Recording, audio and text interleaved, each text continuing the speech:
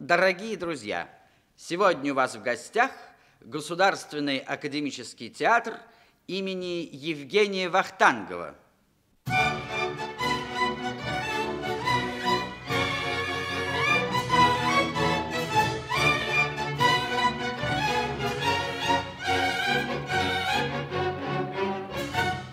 Перед занавесем четыре традиционных персонажа итальянской комедии масок.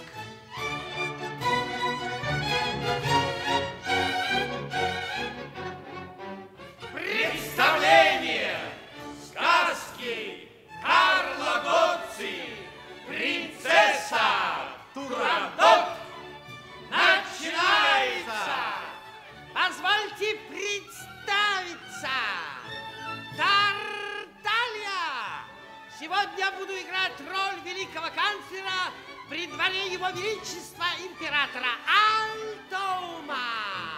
Николай Гриценко, Панталоне! Буду играть роль секретаря его величества императора Альтома. Юрий Яковлев, Ригела! Буду играть роль начальника придворной стражи. Михаил Ульянов, Труфальдино! Буду играть роль начальника Евнухов, гарема принцессы Турандот. Эрнест Зорин. Парад!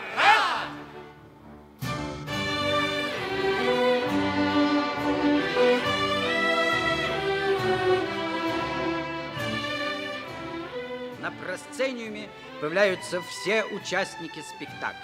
Женщина в бальных туалетах, мужчина во фраках. Это естественно, ведь сегодняшняя наша встреча – праздник для нас. И нам хотелось бы, чтобы вы почувствовали это.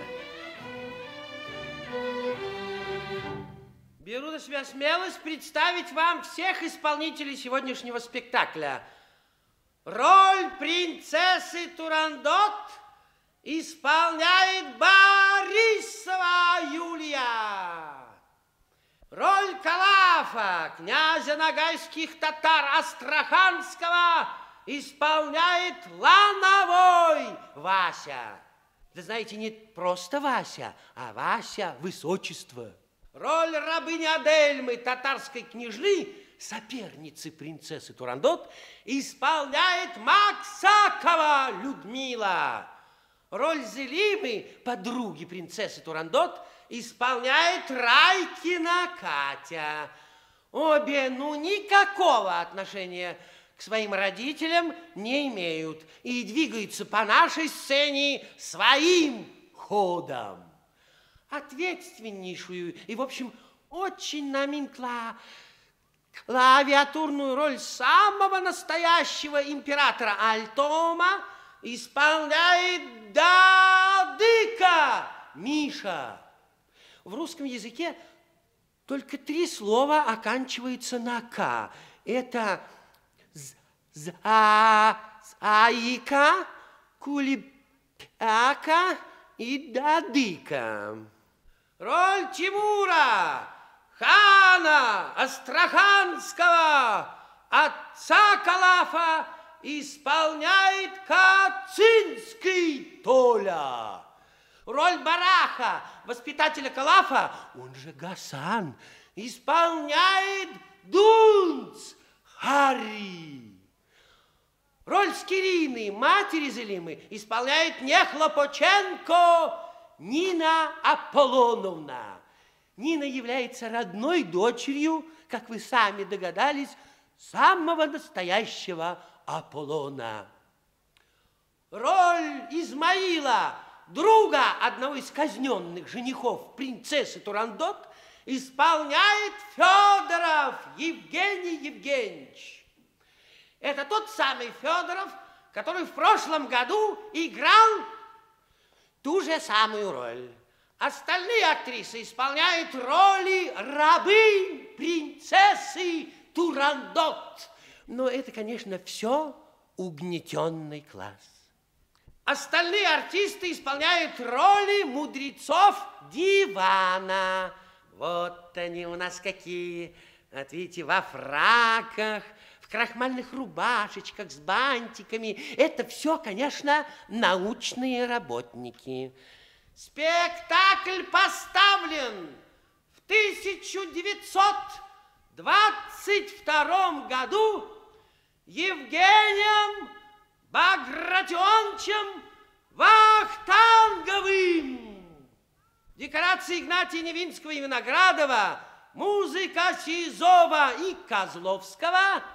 Спектакль восстановлен Рубеном Николаевичем Симоновым. Оркестрик у нас небольшой и, в общем, никакого отношения к музыке не имеет. Я окончил, и вот мы начинаем.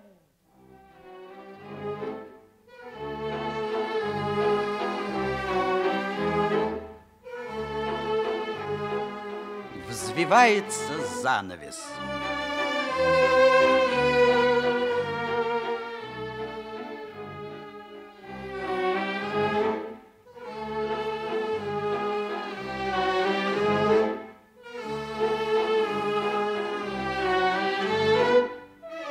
Актеры начинают переодевание.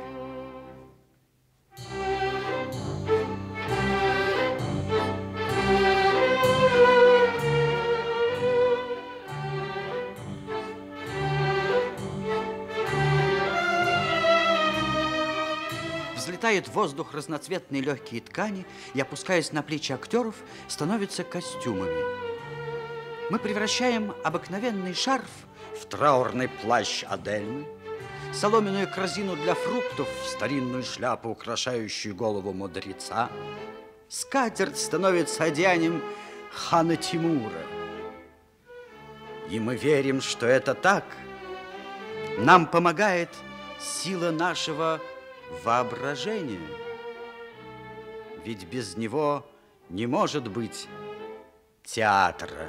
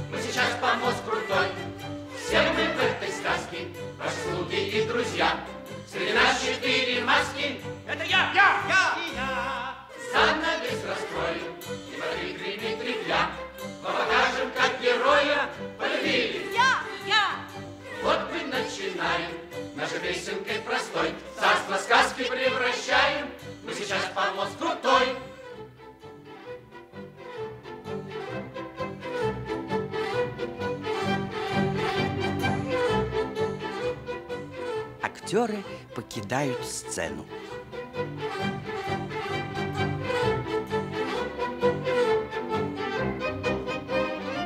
Простите, э, это шутка нашего оркестра.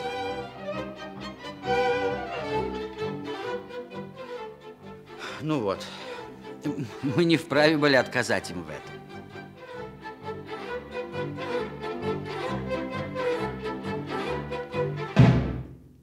Теперь представьте себе улицу сказочного восточного города.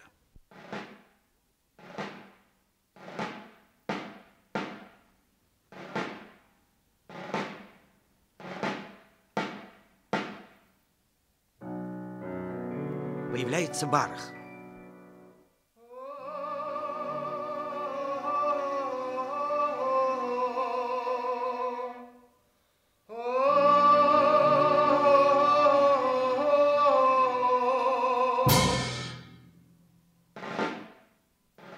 Прежде всего он кланяется зрителям. Э, Так будут делать все.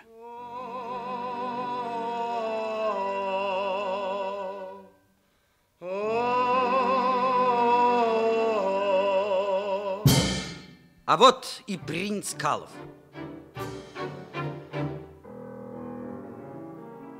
Как он прекрасен. Фрак, белый тюрбан, небрежно наброшенный на плечи короткий плащ.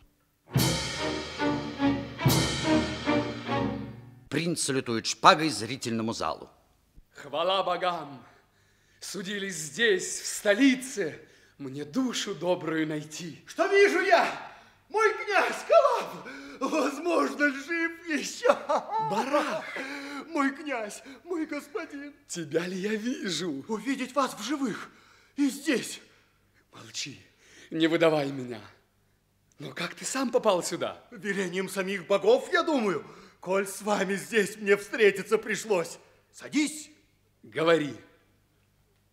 Когда под Астраханью я нашел разбитым все наше войско, и татар нагайских я увидал бегущими в расстройстве под натиском хивинского тирана, который так жестоко овладел всем нашим царством, некогда богатым, я скрылся в Астрахань, страдая от тоски и ран, и там узнал, что царь Тимур родитель ваш.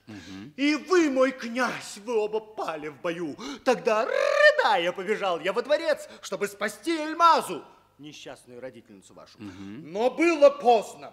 В город беззащитный уже входил неистовый султан с войсками, и мне пришлось бежать из города. Шесть месяцев я шел, и, наконец, пришел сюда, переодетый персом с именем Гасана. Здесь случай свел меня с одной вдовой, несчастной, беззащитной. Помочь ей удалось, продав часть драгоценностей, что захватил с собой. Она мне нравилась, была мне благодарна и сделалась теперь моей женой. Она меня считает еще персом, зовет меня не Барах, а Гасан.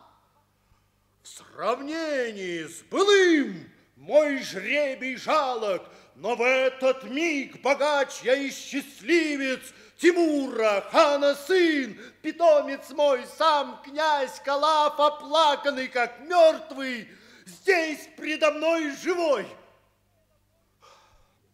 Ну, как вы живы? Как очутились здесь? Не называй по имени меня. Садись, говори.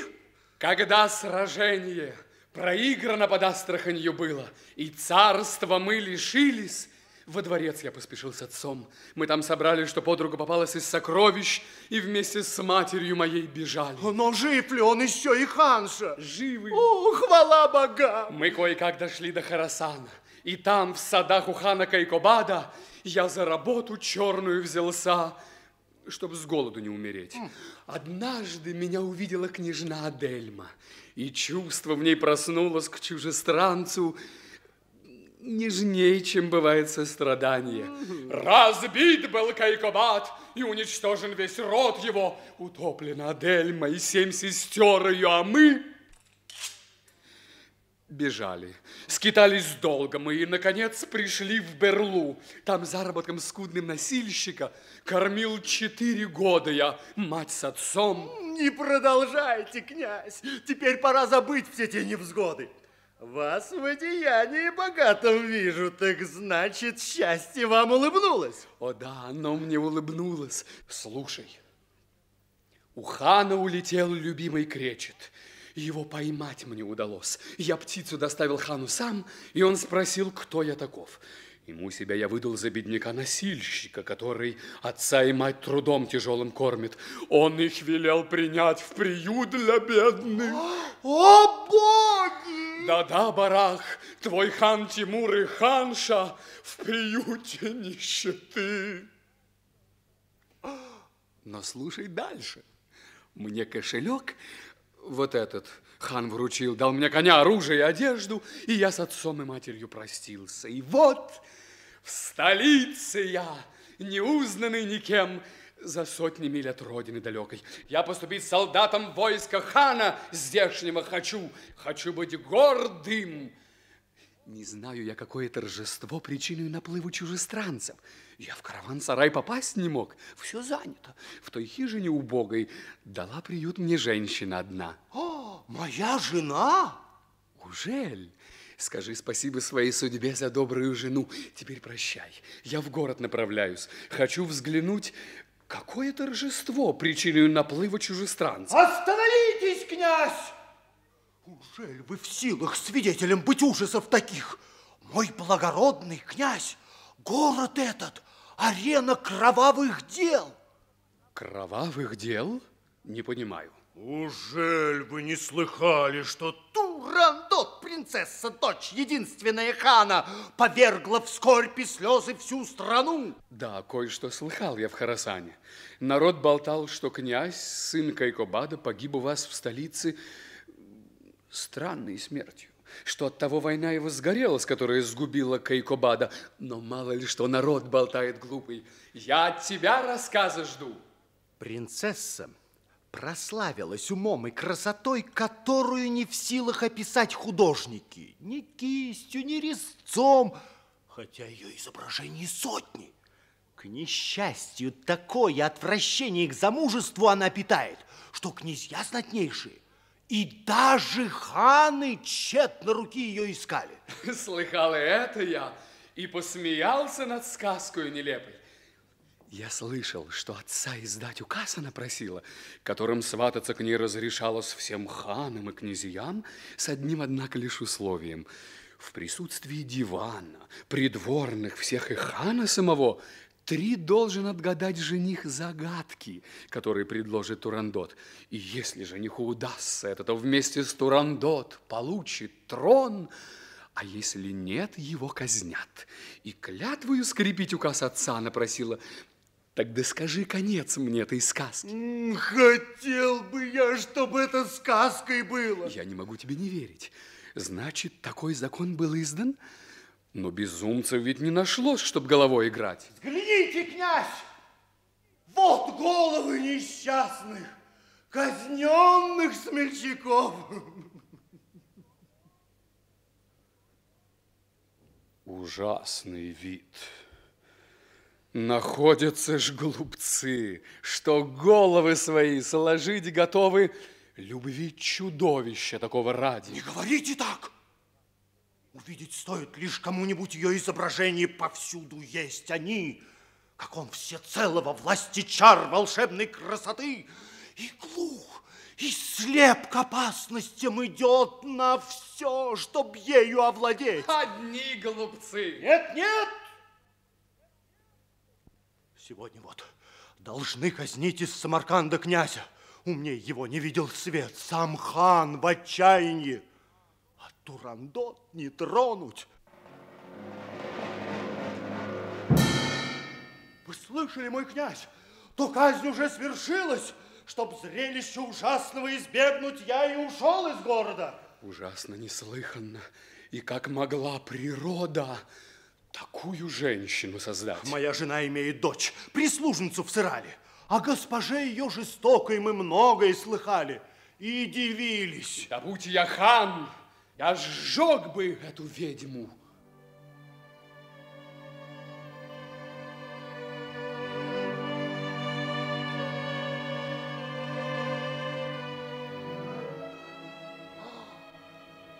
Вот князя друг несчастный Измаил.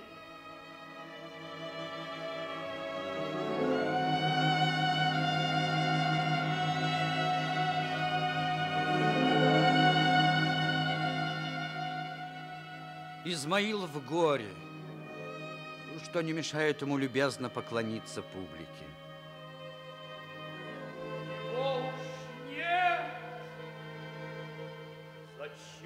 удар смертельный не на мою пал голову.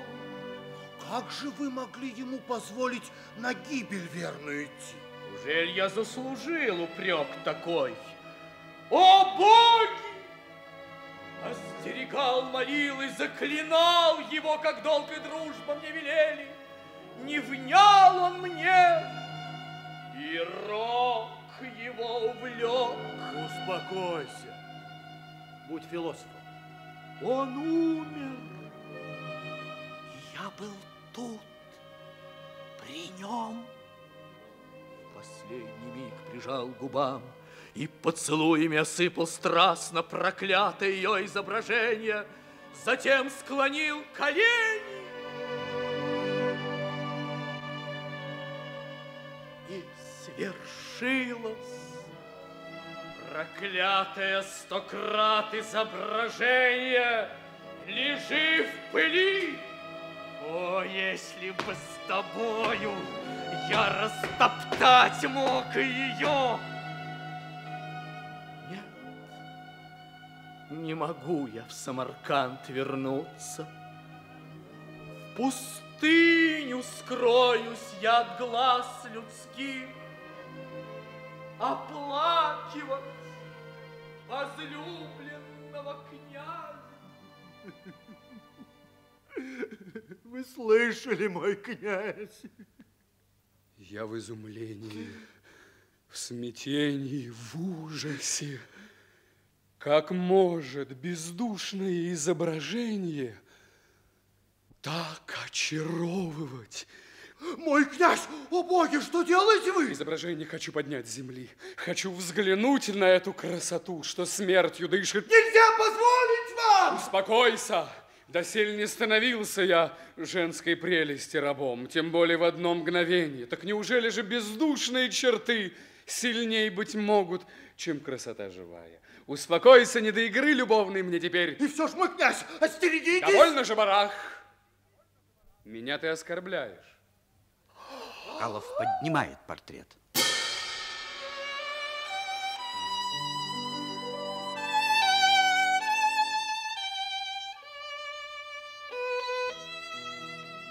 Барах, послушай, Барах, не может быть, чтобы этот дивный небесный лик, лучистый кроткий взор и нежные черты принадлежали бы чудовищу без сердца, без души. Несчастный князь, бросьте, проклятый этот образ. Напрасно все. Напрасно речи тратишь. Небесный лик, зовущие уста, глаза, как у самой любви богини. Барах, послушай, теперь или никогда пора настало мне испытать судьбу. К чему влачить такую жизнь? Нет, или одним ударом завоевать прекраснейшую в свете и с нею трон, или покончить разом с презренной и ненавистной жизнью.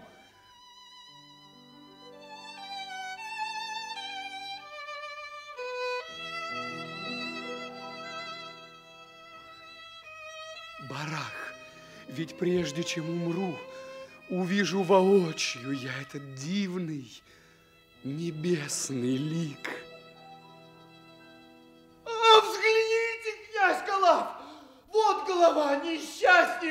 Князя. Глядит на вас и вас остерегает.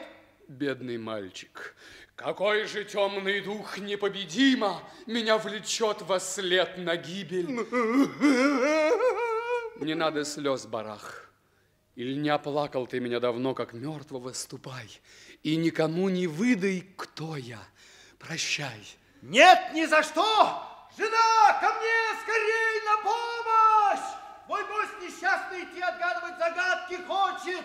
Погибнет он!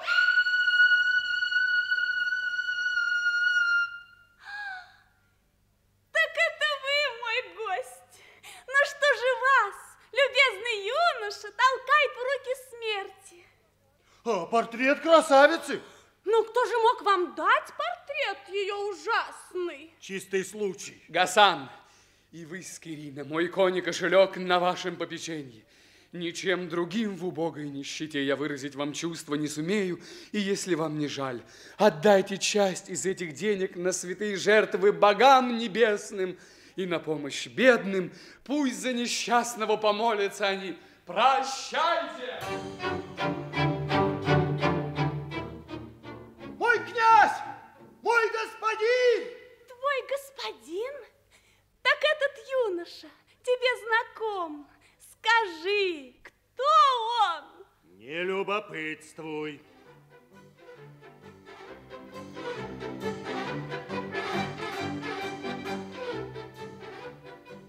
Не только это золото. Я все отдать готова за бедняжку на добрые дела. К тому же он прекрасен. Благородный человек, высокого рождения, дорог он и мужу моему. Пусть так и будет. Три сотни кур и столько же рыб речных к великому снесу Бергингузину. А в жертву гением, ай, корзину овощей и риса. Да будет благосклонен к мольбам жрецов всеведущий Конфуций.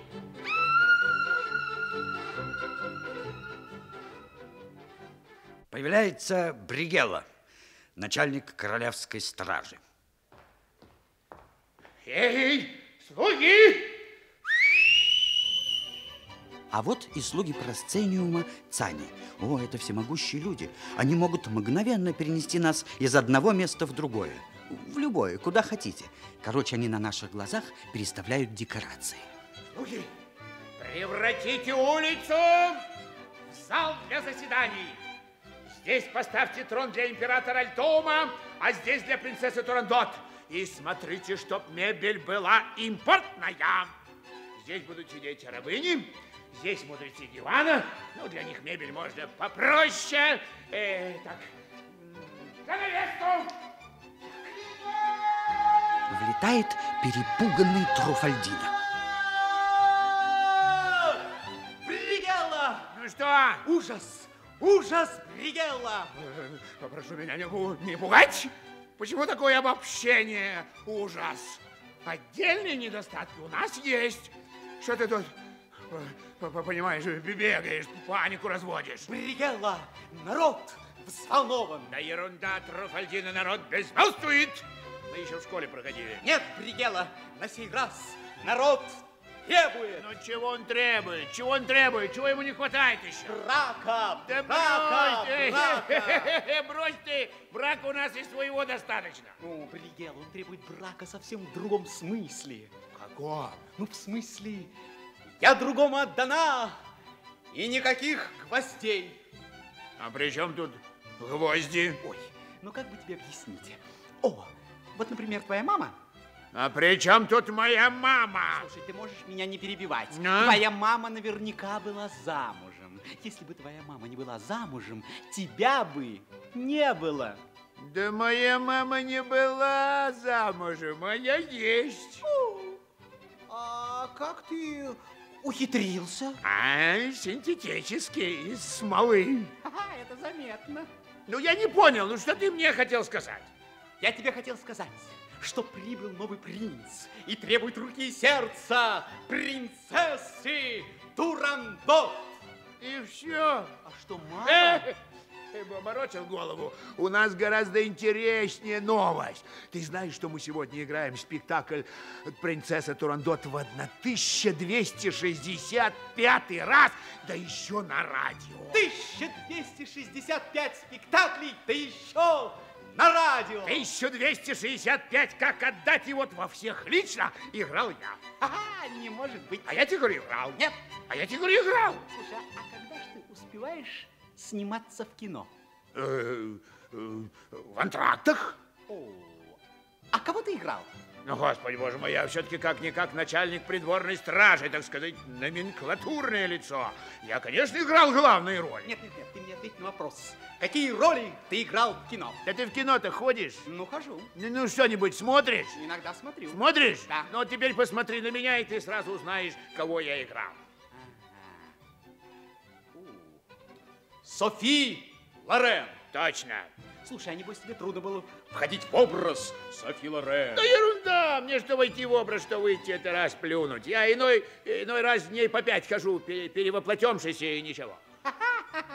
А Софи Лорен женщина. Ловко я тебя подловил. Да я же не говорю, что я ее играл, я с ней играл. Бригелла Вестрояне. Брак по-итальянски. Ты видел? Нет, к сожалению, не пришлось. Слушай, Бригелла, о чем это? Ну, господи, боже мой, там о браке. По итали... не, не, не о нашем браке, не о нашем, а о браке по-итальянски. А Софи Лорен играет там роль такой простой, такой трудовой женщины. Понятно, понятно. Подожди, а общая идея какая? Общая идея очень глубокая. Нет плохих профессий. Главное, добросовестно относиться к своему труду.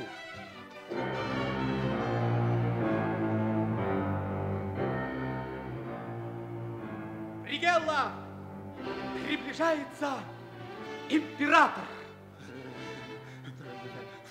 Труфальдина, за мной! Шагом!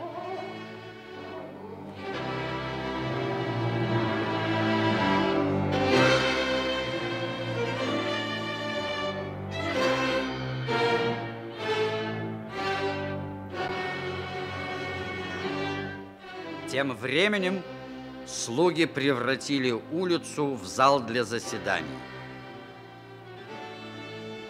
Появляются мудрецы. Очень серьезные, очень важные. На их лицах выражение сосредоточенности. Они в заботе о благе государства. Ну, потому они и мудрецы, что много думают.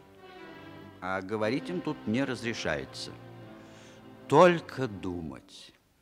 А вот и его величество император Альтоум. Он быстро семенит по направлению к трону.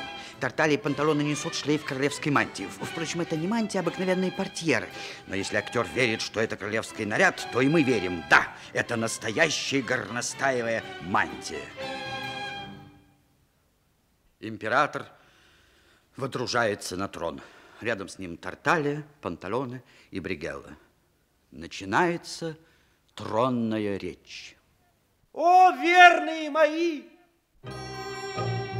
Мудрецы чинно кланяются императору. Доколе буду страдать и мучиться? Мудрецы вновь кланяются. Едва один несчастный принц успел расстаться с жизнью, и его кончину оплакал я, как вот другой явился. Новой скорбью мне сжимает грудь. Узлая дочь, рожденная на горе, что толку проклинать теперь тот час, когда я дал торжественную клятву великому Конфуцию исполнить мной изданный декрет? Нарушить клятву я не могу. Не, это неудобно будет нарушить клятву. Жестокости дочерней предела нет. И недостатка нет в глупцах упрямых, в дочь мою влюбленных. И некому советом мне помочь. Мудрецы качают головами, разделяя горе своего повелителя. Министры думают.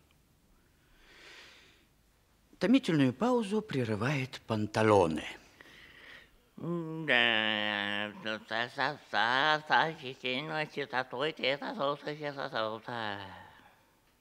Панталошечка, по-моему, ты что-то сказал. Я говорю это,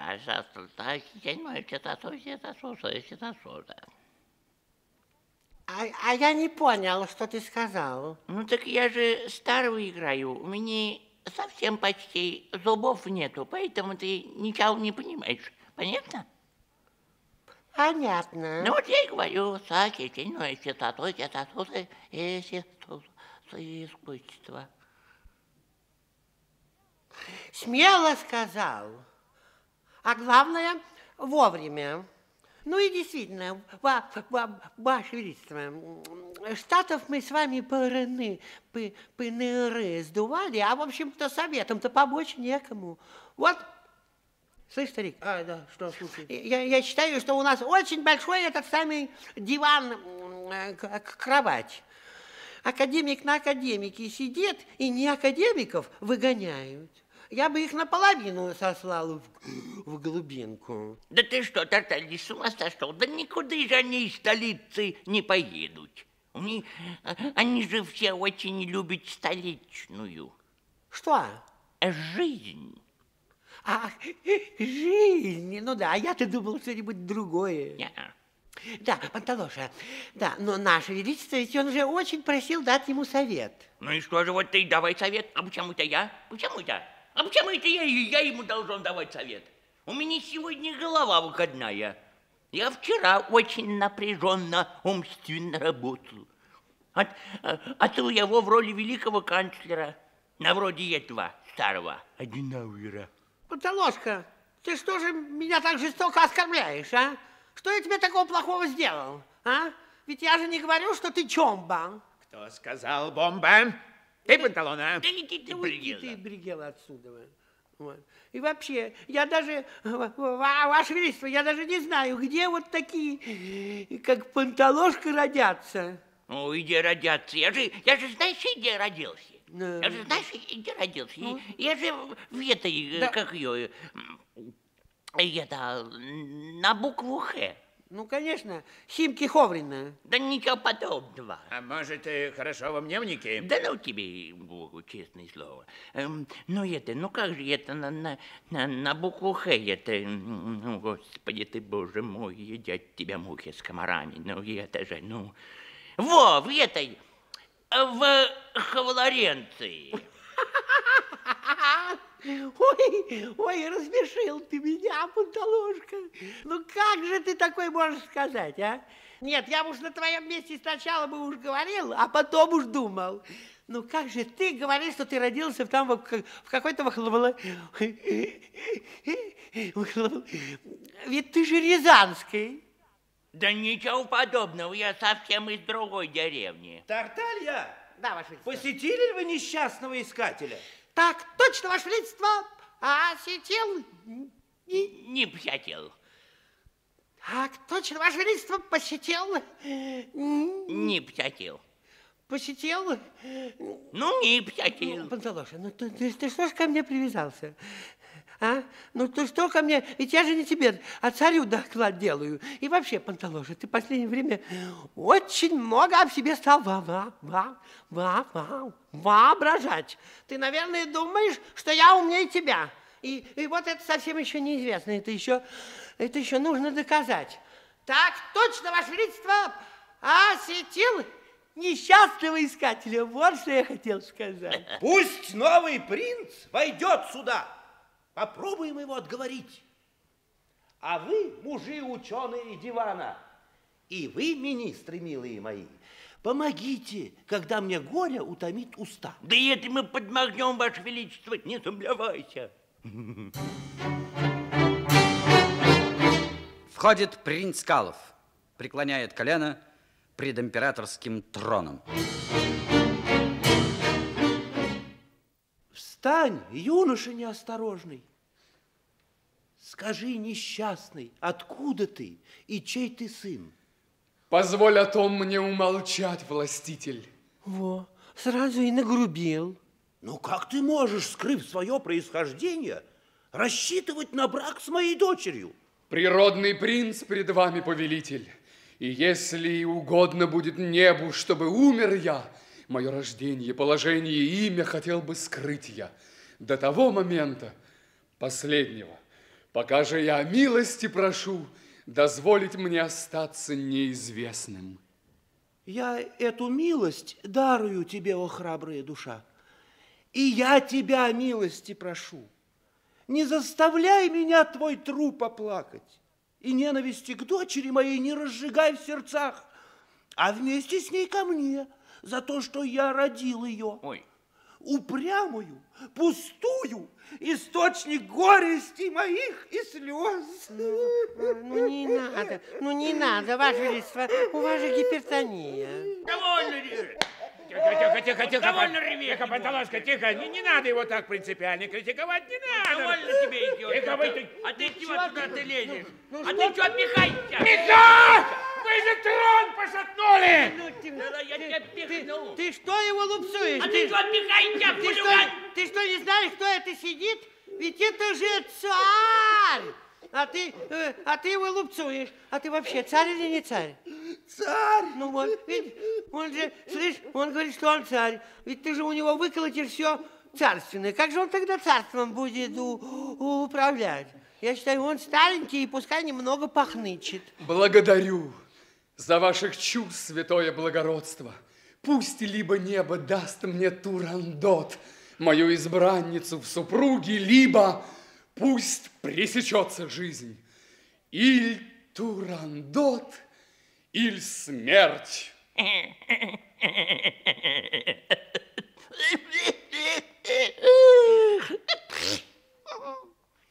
Ваше Величество, мы сейчас с Тартальей попробуем этого мальчонку отговорить. Со мной, да?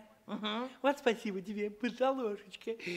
Ваше Величество, по- постерегите, пожалуйста, портфель. Хорошо. Да. А уроки я после сделаю. Иди сюда, Тарталья.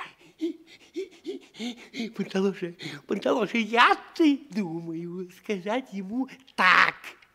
Нет, так мне не нравится. Давай мы ему скажем это. Мол, э, что сосед за соседом, сосед сосед, сосед сосед. А ты знаешь, по-моему, э, это опасно. Почему? А давай ему скажем просто, но с намеком. Так. Сис-сис-сис. Сус-сас-сас. А, ну что, это можно, это можно, это можно, но не нужно. Вот. Давай мы ему лучше скажем так. Мол, сейчас сосите со соседа. Правильно. Вот. Вот это сразу ясно. Э, Ваше Высочество, вот мы сейчас втроем загадаем вам наши маленькие загадочки. И как только вы их отгадаете, как только вы их отгадаете, ой, как только вы их отгадаете, вам тогда будет совсем легко отгадать и Турандоткины загадочки. Да. Вася, Ваше Высочество, это будет вроде КВН. А, а что такое КВН? КВН? КВН – это клуб веселых и назойливых.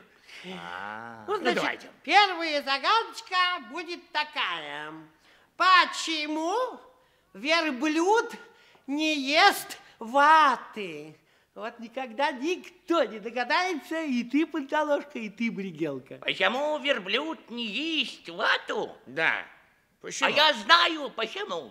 Потому что в ей нет витаминов. А, а в ней никогда их не было. А я догадался, я догадался. Потому верблюд не ест вату, что не всегда бывает в аптеках. Вот и неверно, вот и не... Вчера выбросили. А верблюд не знал. Ну так почему верблюд не есть вату? Ну да. Да просто не хочет. Ваше Высочество, теперь будет следующая загадочка. Что такое начинается на «э», кончается на «х»? На «х»? Я сразу догадался, ведь это же очень просто. Ну, давай. Панталошка, это будет эх, дороги. Да ничего подобного. Панталоша, а может быть, это не дороги, это же ясно. Может, это будет... э, м, Ехали мы, ехали, все. Не, не будет. Да никуда мы не ехали. А ты знаешь, старик? Да, ну, ну, Ну ничего не знает. Ну, ну что ты к нему привязался? Он же на пенсию Ну, ну что такое будет? Начинается на... э, Э. на «э», да. Начинается на «э», кончается на «х». Это будет домашнее животное эндюх. А, Вот, и теперь будет следующая загадочка. Это будет очень сложная загадочка, Ваше Высочество. Значит так, что это такое ни пуха, ни пера? Я догадываюсь, Панталошечка. Э, Правильно, но неверно. А ты знаешь, Бригела? Я Да. знаю, но не скажу. А ты знаешь, старик? И я... Что он знает, и богу, нашел у кого спрашивать. Ну, так что же будет? э, э, Ни пуха, ни пера. Ни пуха, ни пера, это будет раскладушка. А, Тебе, Панталошка, в угадайки играть. Знаешь эту игру? Угадайка, угадайка, интересная игра. Ну, у тебя И, есть и еще? последняя э, загадочка, она очень простенькая, но правда, она... Будь здоров. Нет, это я оговорился. Она очень простенькая, но правда, она психологическая загадочка. Э, Что такое? Четыре ноги, хвост, мышей ловит и мяукает. Это ужасно. Вот, вот никогда не догадайся. Никто, никто никогда не догадается. И мяукает. Да. Четыре ноги? Да. По-моему, это будет домашнее животное кошка. Я сам, я сам думал, что кошка, а оказывается ко- кот. А. Но тут принц Калов прерывает министров. Зачем старание? Напрасно все. Иль турандот, иль смерть. Пускай войдет принцесса, и пусть она упьется новой жертвой. О, ну мы вечные, мне просветите разум, пусть вид ее меня не поколеблет. Диван священный, мудрецы и судьи моих отгадок и моей судьбы, явите милость к слепому от любви, который сам не знает, где он, что он, и летит к своей судьбе, влекомой силой тайной. Принцесса Турандот и...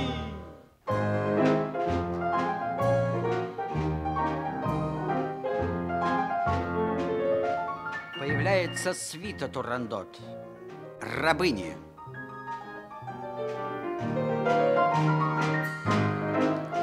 Они молоды, скромны и очаровательны. Они, вероятно, так пленительны, потому что, хотя и сказочны, но вполне современные.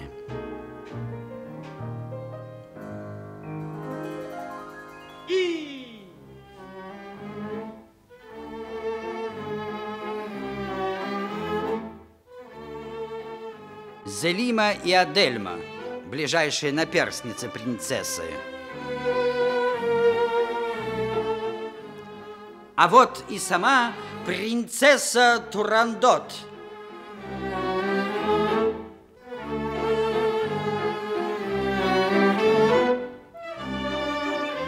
Легкая, стремительная, она под вуалью. Так надо. Пока. Изящный поклон в зал, приветствие мудрецам, глубокий реверанс перед императором. Турандот занимает место на троне, с одной стороны Залима, с другой Адельма, рабыни у подножья трона. Кто здесь так храбро льстит себя надеждой проникнуть в тайный смысл моих загадок? Кто хочет жизнь за это положить? Вот он.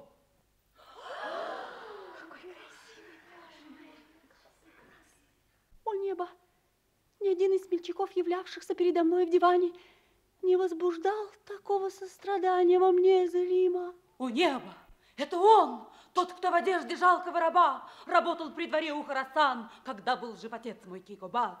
И так он принц, я чувствовала это, и сердце отдала ему. Дайте легкие ему загадки, перестаньте быть жестокой. Как?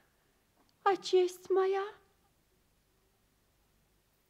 О, принц! От гибельной попытки откажитесь. Я не жестока. Известно небу, что слух об этом ложь, но я даю в своей душе глухое отвращение к мужскому полу.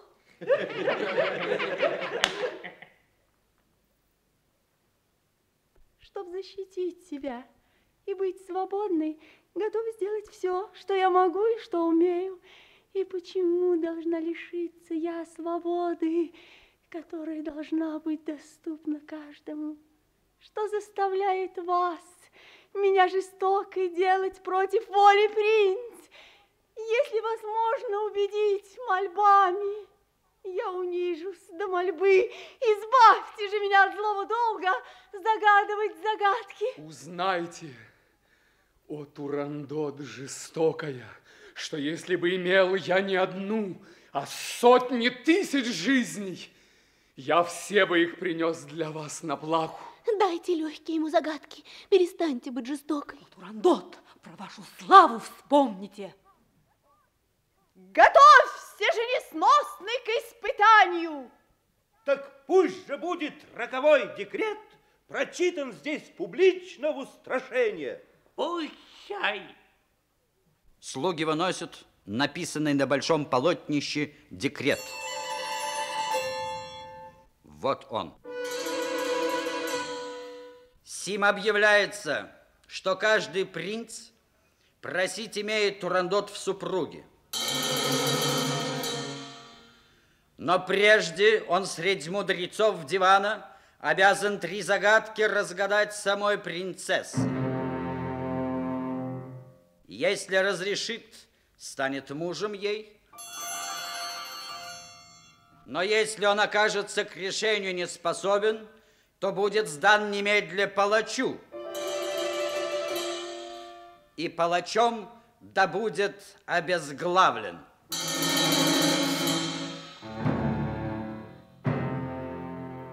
Унесите декрет.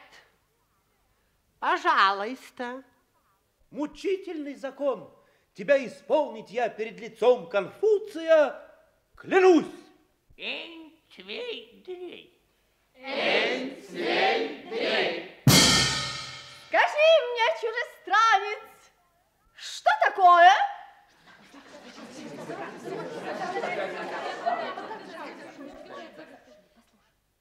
Я скорчился в сухом полене. Я скорчился в сухом полене. Жду, пришла моя пора. Жду, чтоб пришла моя пора. И первое мое явление И первое мое явление при первом стуке топора. при первом стуке топора. Я хилый маленького роста. Я хилый маленького роста. Дыхание всякого боюсь. Дыхание всякого боюсь. Пролей воды, погибну просто. Пролей воды, погибну просто.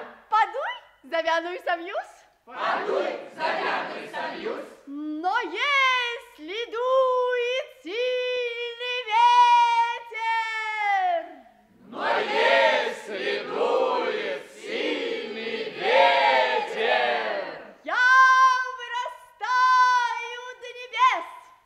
я вырастаю до небес. Хочу я, чтобы ты ответил, что я за дива, что за бес. Так, так, так, так, так. Я был бы счастлив, гордая принцесса, если б загадки все были так же легкие. Ты хочешь, чтобы я ответил, что ты за бес, как звать тебя? Когда подует сильный ветер, ты встанешь всех нас истребя. Но раньше мал ты ничтожен, ползешь и шепчешь только тронь.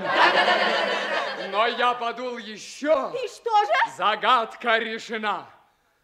Огонь. Огонь! А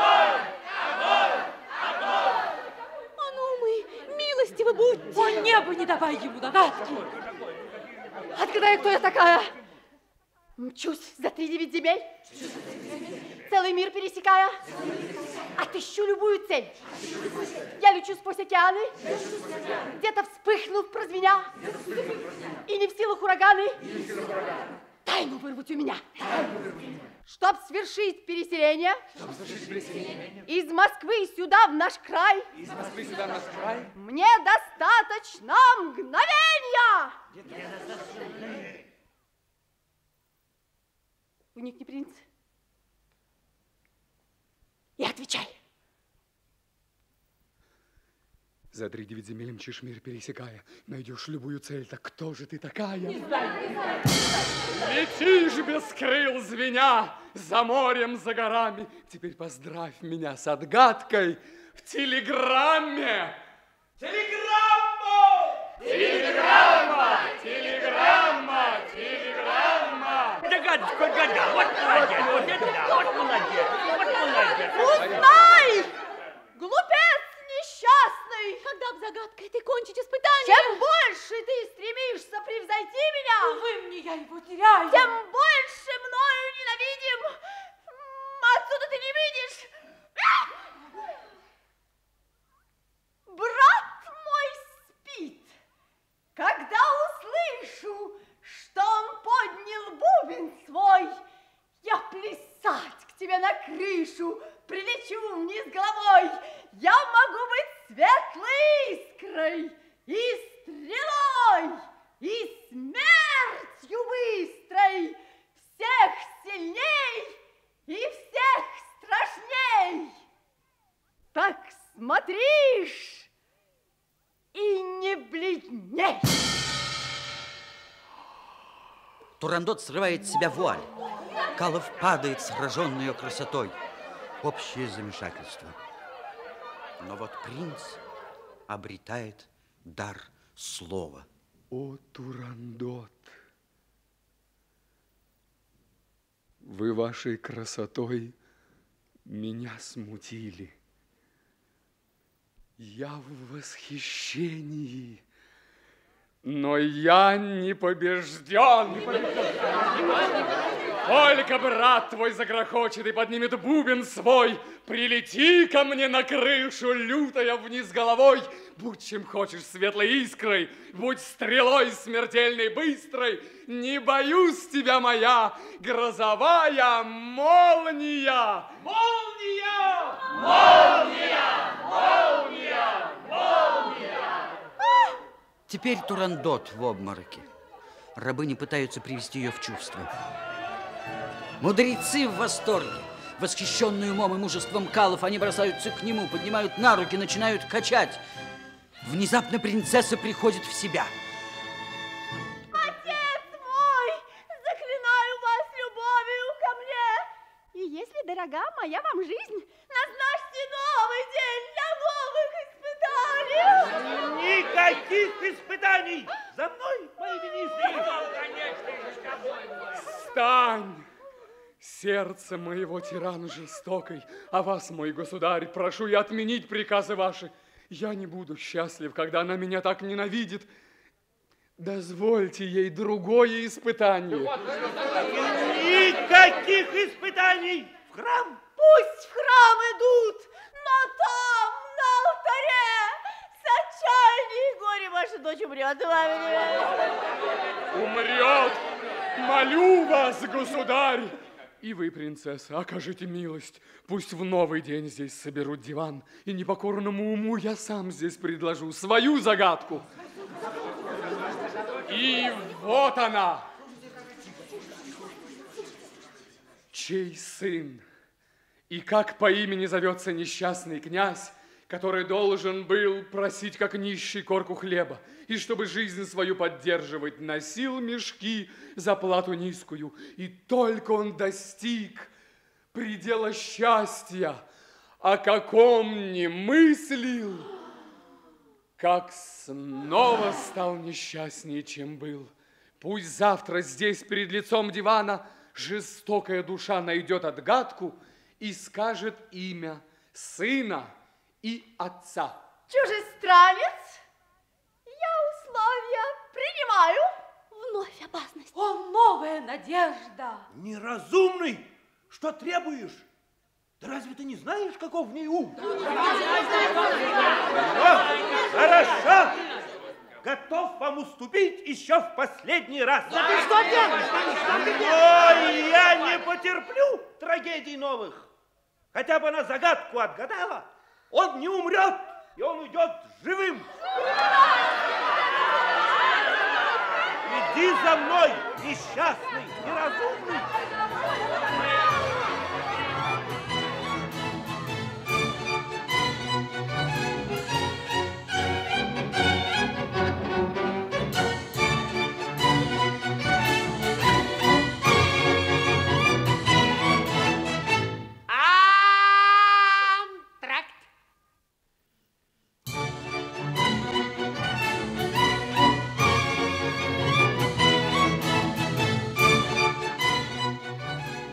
Итак, дорогие друзья, второй акт нашего спектакля.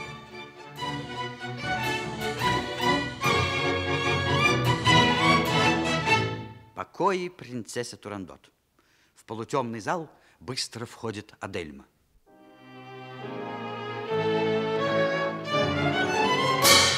Теперь или никогда. Уже пять лет, как я скрываю в груди смертельный яд. Я притворяюсь, что я смирилась, Да!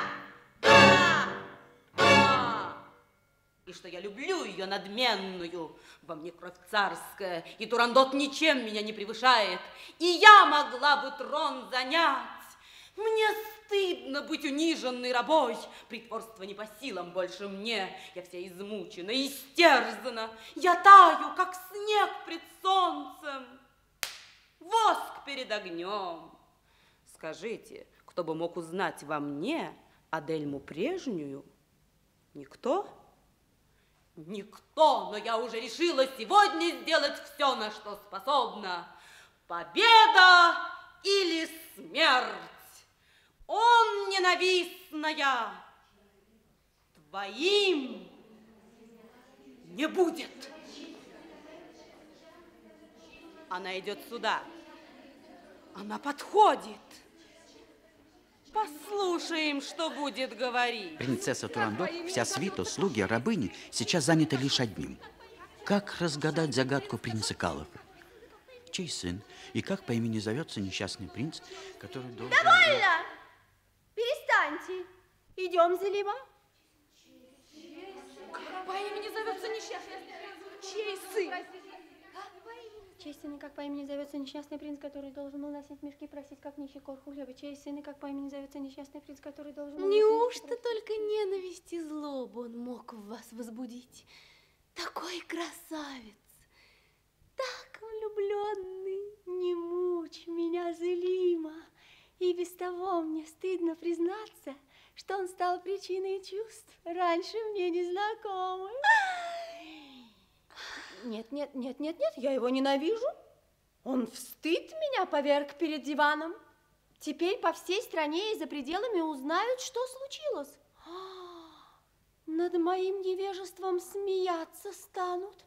Завтра утром опять сойдутся в зале мудрецы, и если я не в силах буду разгадать загадку трудную, которую он задал, отец велит немедленно вести нас в храм, соединить нас браком. Честный, как по имени зовется несчастный принц, который должен был носить мешки, просить как нищий покуда. Честный, как по имени зовется несчастный принц, который должен был носить мешки, просить... Ой. Что этот принц, он самый есть? Я это догадалась. Но как узнать отца и сына имя, когда его не знает даже хан? И разрешил ему скрывать его прозвание до конца борьбы. Как мне разгадать загадку эту? Что делать? Невозможно. У нас в столице есть каббалисты и маги, способные на все. Вы обратитесь к ним. Как ты глупа, Зелима. Они обманщики, и я не верю им. И верить может им одно простонародье. Скажи еще мне что-нибудь. О, вспомните, принцесса, как он стоял пред вами, прекрасный принц. Ой. Как трогательны были его мольбы и жалобы, когда, забыв им все, за вас молил он на коленях хана, за вас, которая так бессердечно с ним обошлась и был готов опять рискнуть своей с трудом спасенной жизнью. Довольно! Замолчи! Узнай, что это сердце... Нет, я его ненавижу. Я не могу себе представить, что могу я стать рабой мужчины. Вы слишком молоды, принцесса, и говорят в вас гордость и упрямство. А как настанет возраст несчастливый, поклонники исчезнут, вот тогда наступит час напрасных сожалений. Что вы теряете? Какую-то там честь? Какую-то надуманную славу? Прости меня, Зелима. Адельма? Но идеи низкорожденного не могут быть иными. Адельма? Да, принцесса, это я. Прогуливаясь здесь неподалеку, невольно я слыхала последние Зелимины слова. Я так люблю принцессу, я была возмущена. Ты плохо понимаешь, что принцесса, которая была побеждена перед лицом высокого дивана каким-то неизвестным, должна испытывать и стыд, и огорчение. Так презирала она мужчин, глумилась так над ними, и ей рабой стать одного из них. Апропо, я лично слышала, как тысячи мужчин с нескрытой радостью подшучивали злобно над вашими загадками, А? как будто загадки были глупы и смешны. Что делать ей, скажи, когда ее рассудку вопреки и против воли стремятся выдать замуж? Молчи, Адельма, не разжигай во мне этой злобы. Несчастье большое выйти замуж. Ах, замолчи! Ты просто не способна понять величие сердца. Не из лести я это говорю, и не пустяк, что завтра перед народом, перед диваном всем она обязана два имени назвать. А если ей придется отвечать незнанием или признанием откровенным в своем бессилии разрешить загадку? Как быть тогда? Заранее я слышу гул тысячи насмешек, издевательство толпы народной, как будто бы она бездарная комическая дива, ошибкой вызвавшая смех. Знай, Адельма, я уже решила, что если завтра утром не смогу назвать имен, то там же, среди храма, пронжу кинжалом грудь. Принцесса нет! Решить загадку нам необходимо при помощи науки или даже путем обмана. Адельма вас гораздо больше любит. Пускай она вам помогает. Да-да, Адельма, ты мне должна помочь. Но как могу узнать отца и сына имя, когда не знаю как, когда, откуда он к нам явился? Постойте. Сам в диване он нам сказал, что здесь, в столице, есть его знакомый. Его нам надо разыскать, хотя бы вверх дном пришлось поставить город. Не пожалеть лишь золота. Бери все золото. Жалеть мне нечего, я знать должна. А как потом, узнавши даже скрыть, что вы обязаны победой не себе и своему уму, а подкупу? Кто ж выдаст нас? Не ты ли? Ну, это слишком. Узнайте же, принцесса, мне так хотелось убедить вас, дать свое согласие стать женой того, кто вас достоин, нежен, кто вас любит. Мне было жаль его. Ну, а теперь мне все равно. Узнай, Адельма, здесь была Скирина, мать моя. Она сказала мне, что этот принц в ее гостинице остановился, и что Гасан, мой отчим, обожает его и с ним знаком. Гасан? Я мать свою просила узнать мне имя принца, и она сказать по правде обещала. Теперь принцесса может сомневаться в моей любви и верности. Не уходи, дай обнять тебя. Ах, Турандот! Она глупа, ведь глупо же надеяться, что добровольно Гасан откроет тайну, зная, как важна она. И если вам угодно любви моей поверить, я могу вам дать совет. Да-да. Не здесь, в укромном месте. Хорошо. Идем, Злима. О,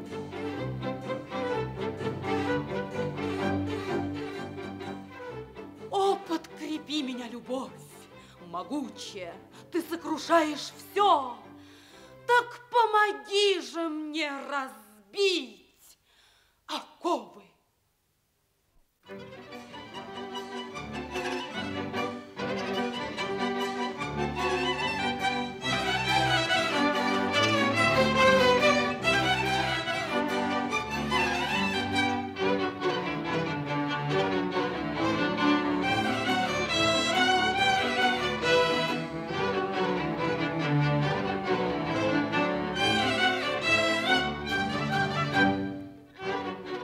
На одной из площадей столицы беседуют принц Калов и Барах. Но если наши имена, мое отца, во всей столице знаешь ты один, и если наше царство так далеко, и прошла молва нашей смерти, и я уж 10 лет скитаюсь, значит, нам нечего бояться. И все же вы неосторожны, князь. Несчастье вашему невозможного бояться нужно. И стены, и деревья, и предметы имеют уши. Раз идет вопрос о том, чтобы несчастного добить, все будет против вас. Нет, Барах. я не могу спокойным быть. Нам удалось побить на состязании одну из самых умных, прекрасных женщин. Вместе с ней мы победили одно из самых сильных царств. И вдруг затем, по слабости сердечной, все пропало. Не меряй, Барах, нежную любовь аршином интереса. Ты не видал отчаяния и гнева, Турандот, а в ней вся жизнь моя. Ну, а вы, как сын, должны бы больше думать не о ней уж побежденной вами, а о своих родителях, которые в горести и нищете оставили в Берласе. Не упрекай меня, я так хотел ее утешить. Быть может, мой поступок ей по сердцу пришелся. Может быть, в ней искра благодарности проснулась. Ко, в Турандот? Ха-ха! Какое заблуждение. Мне нечего бояться, Барах. Ты меня не выдашь. Говорил ли ты своей жене, кто я? Конечно, нет. Послушан Барах приказанием вашим. Но у меня предчувствие дурного. Я весь дрожу, не знаю почему. Ва-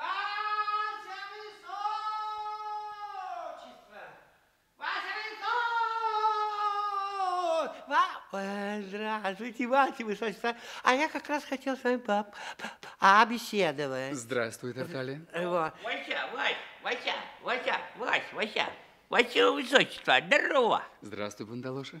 Тарталья прячется. Однако Панталона замечает его. О, Что? кого? По-моему, здесь есть кто-то, кроме меня. По-моему, кроме меня, кто это есть здесь? а? Что? Чего?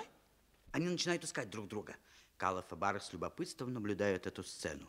Я сейчас его подловлю. Я его сейчас плавлю. Наконец Панталон видит Тарталью, тихо к нему подкрадывается, и в этот момент Тарталья резко нагибается. Панталону, боясь быть обнаруженным, прыгает ему на спину. Ой, ой, а почему же это никого нет? А, а почему же это мне в спину вступило? Да это у тебя, наверное, редикулит. Да, ты думаешь? Ну, конечно. Ты знаешь, я тоже один раз так согнулся, а потом и все, привет, больше не мог разогнуться. Ну, знаешь, я тебе скажу, ты это дело не запускай, Тарталья. Это Да. лисица, лисица надо. Да? Мгм. Ну, ты мне лучше скажи прямо, зачем ты сюда пришел? Ну, же я теперь, ну, же я теперь скажу прямо, когда я теперь ни спереди, ни сзади не могу выпрямиться. Я тебе сейчас дам одно неопатическое лекарство. О, на-ка, укуси. А разве неопатическое через ноздрю принимают, да? О, Ну, постой, я тебе сейчас распрямлю. Опля. а смотри, А? правда, как рукой сняло. А, а я знаю, зачем ты сюда пришел. Нет, не знаешь. Нет, знаю. Нет, не знаешь. Ты, небось, хочешь узнать имя принца. А, Панталошка, ну как же ты мог обо мне так подумать, а? Как ты только... Как ты только... А как ты догадался? А, а я, небось, тоже хочу узнать имя принца. Да? Ну, конечно. Ну, только у меня, значит, значит, Тарталь, у меня план есть. А средства касаются лев э, А средства касаются лев лев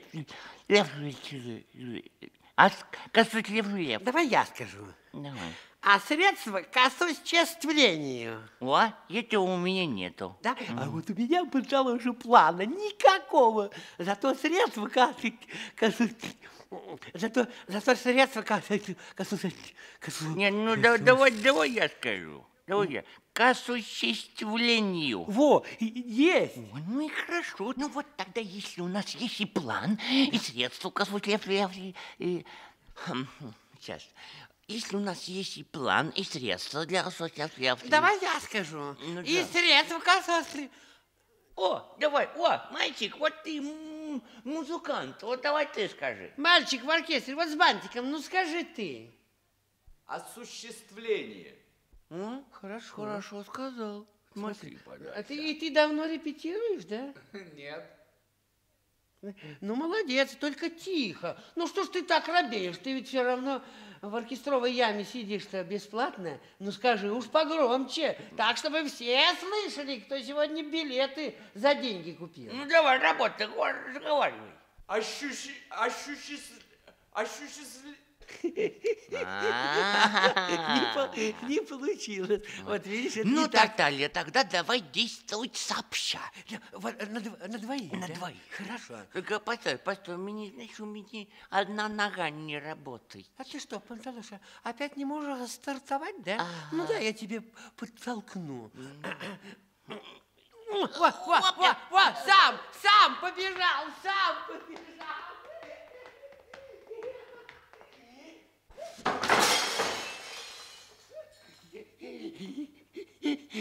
Он спотыкнулся.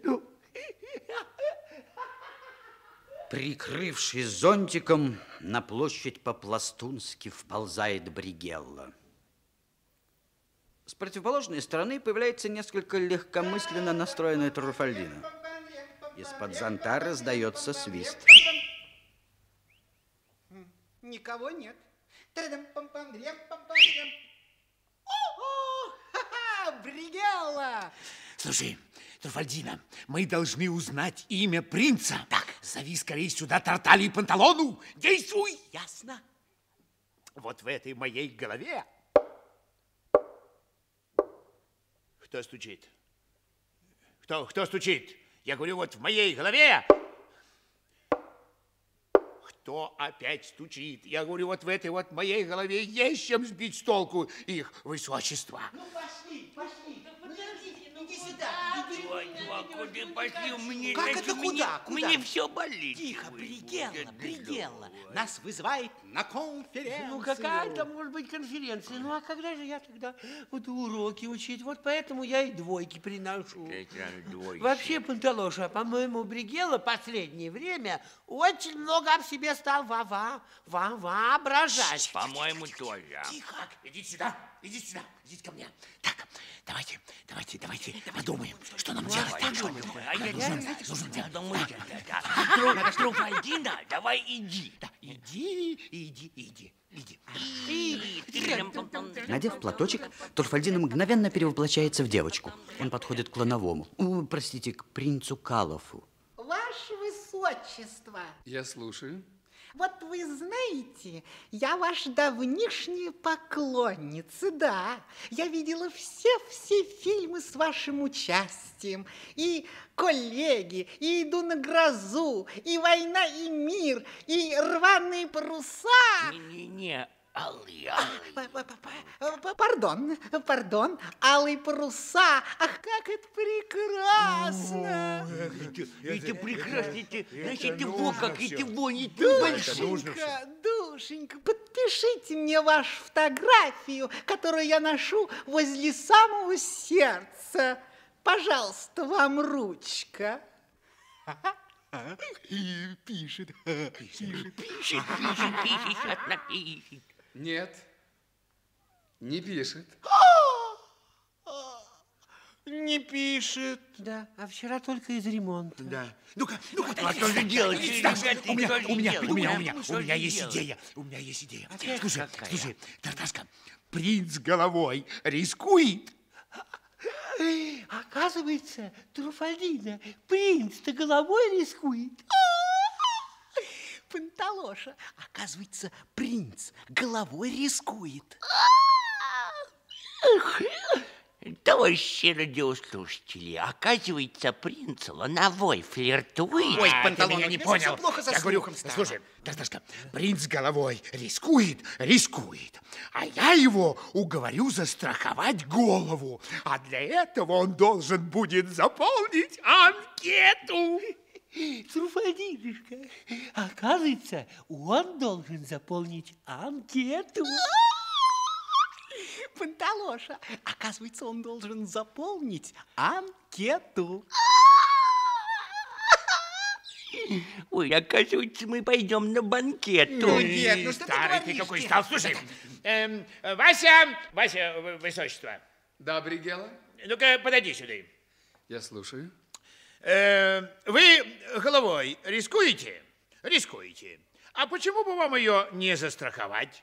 Вы потеряете голову, а вместо нее на руки получите 2 рубля 87 копеек. А для этого нужно только заполнить анкетку. Ваша фамилия? А? Как? Что? простите? Молчит. Ага. Ну, бурные аплодисменты, переходящие в авиацию. Ну, ну что, что, что, что будем делать-то? А? В смысле, у кого?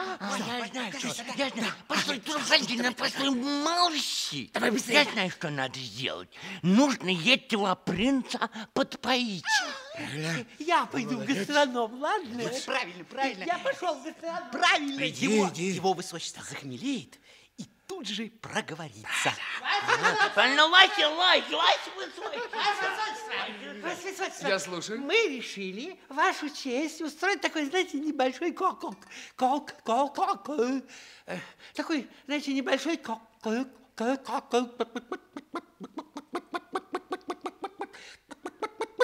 А! Ой, ребята, я, кажется, несусь. Ребятки, я еще раз попробую с разбегу, ладно? Ну, давай. Кок, кок, кок, кок, кок, коктейль. Труфальдиночка, у вас штопор. Отштопоривайте, пожалуйста. а. Разбирать, пожалуйста, бокалы. Ну, погоди, отдыхайте. Ну, погодите. Да что вы на самом деле? Отдай Ну, кружку. Ну, что вы на самом деле, как в молодежном кафе? Что, вы не можете это сделать поинтеллигентнее, да? Ну, плесни-ка мне, Труфальдина, пожалуйста.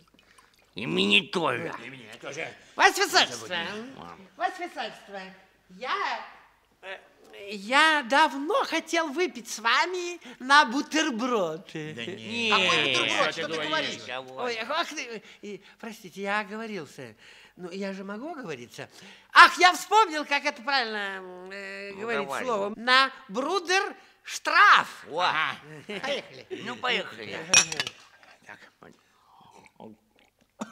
А что? Что это такое? Ой, Тарталья, что это за гадость, а? Какая-то гадость. Это же, это же рыбий жир. А вы знаете, я его пью шестимесячного возраста. И, как видите, костюмчик еще не перешивал. Ну, плесни распробуй. мне. Распробуй. Еще по одной. Ну, Вася, на. Вась, Вася, Вася, Вась, Вася, высочество. Да, панталоны? Ну, а ты знаешь, действительно очень неудобно получается. Вот мы э, за тебя пьем, и даже неизвестно, э, за кого мы пьем. Как будет твоя фамилия? А? Молчить. Молчит. Молчит. Молчит. Выпьем. Выпьем. Выпьем. выпьем, выпьем. Да. Ой, косточка попалась. Я-я-я, я-я. Товарищи панталоны! Слушай мою команду. В одну шеренгу стройся! Ты что, с ума сошел, что ли, Тарталья? Меня же зовут я Панталоне. Не Панталоне, одно. То есть нет, это, это Панталон на одна. А не, не, не, это меня зовут я Панталон, один Панталон. Да нет, старики, вы неверно распрягаете. Правильно нужно сказать так. Одни панталоны, потому что вас уже двое. Панталош, панталош, и их-то уже четверо, смотри. Труфальдинка и Бригелка, их тоже уже четверо. Так мы беспрерывно размножаемся, как из икры. Друзья мои, гляньте-ка, а у нас уже целый аквариум.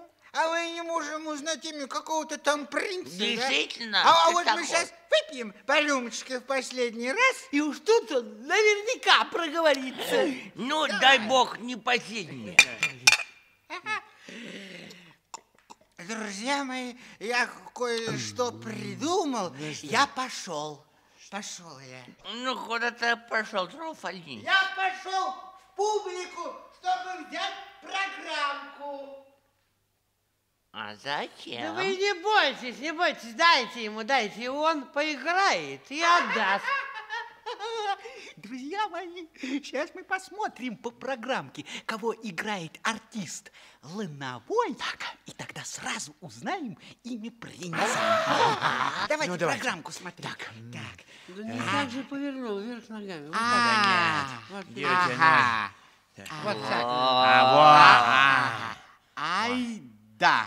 Куда? О, Аида. Аида. Ну-ка, ну-ка, Тарталья, почитай ты. Вот это сейчас. Сете. Сете. Сете челкунчик. Нет, тоже не то. А ну-ка, Панталошка, почитай ты. Почитай. Дай мне, дай мне, дай мне. О, чего, чего, сан. Чего? Сам, сам. Подожди, Грамотеевый. Вот я прошу. щас. Э, Рига, Рига, лето. Рига, лето. А, что-то, что-то насчет отпуска. А, Да нет, друзья мои, э, это мы в оперный театр попали совсем не туда. Сейчас я все выясню. Вася, Вася, высочество, вот, вот признайся нам, Семерим. Вы Семерим. А, простите, вы Семерим, где ты работаешь, а? Слушай, ну что ты к нему привязался? Ну что ты с ним еще разговариваешь?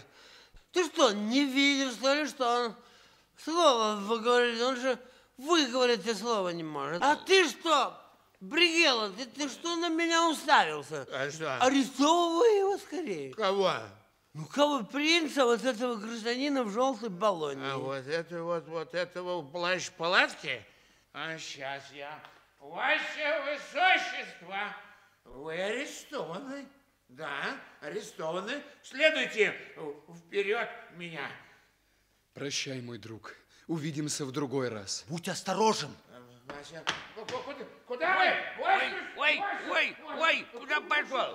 Бегом, Ой, бегом При-. Пригела, что ты наделал? Зачем что? ты его отпустил? Ну что, ну он, он дойдет, он дойдет. Я ведь дошел, и он э, дойдет. Ну, кто тебя обидел, Тарталья? Ну ты чего? Тарташка, ну, не- ну не Ну, что ты плачешь? Если бы знали. Что? Что? Что случилось-то? Ты чего ревешь? Друзья мои, если бы только знали. Ну что, скажи, что? Эй, Если бы знали вы, Ну что, что? как мне дороги. Не сказала нам их высочество про свое житье бытие. Не назвал он нам имя, отчество и свое фамилию. Не назвал он нам имя, отчество и свое фамилию.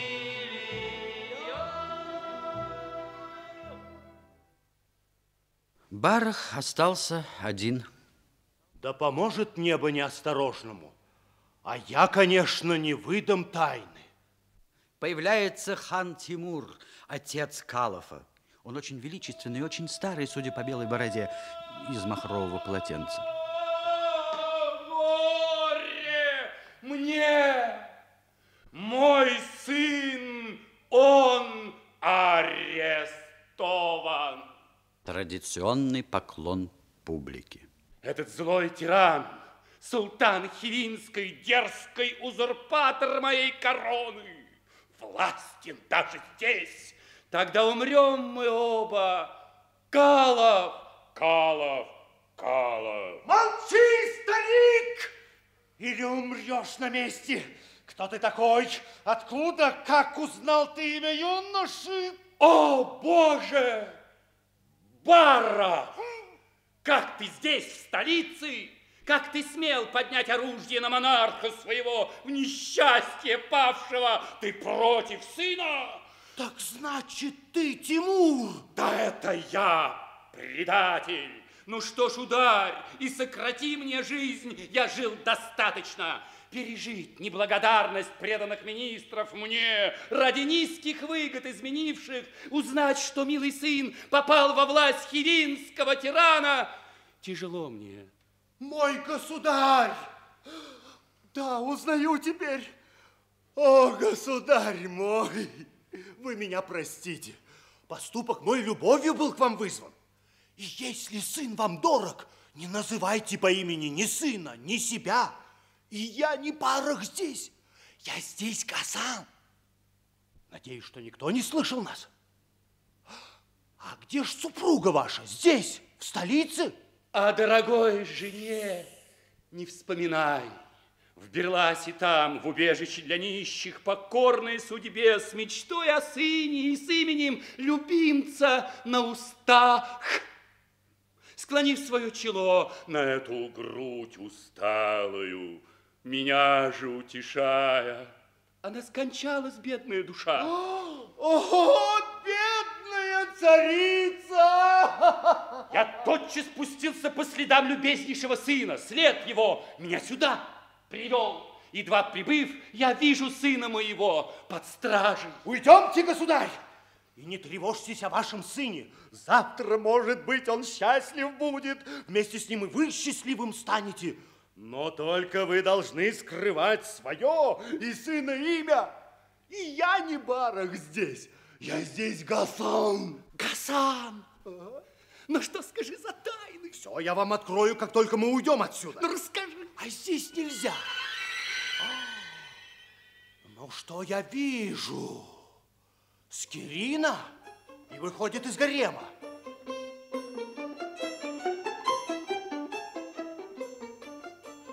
Откуда ты? Зачем? Сыра ли я была у дочки? Как же радовались мы с Зелимой, что победил наш чудный гость, тот юноша прекрасный. Так же любопытно нам было посмотреть, как эта ненавистница мужчин изволит держать себя невестой. Ты всего еще не знаешь и идешь в гарем.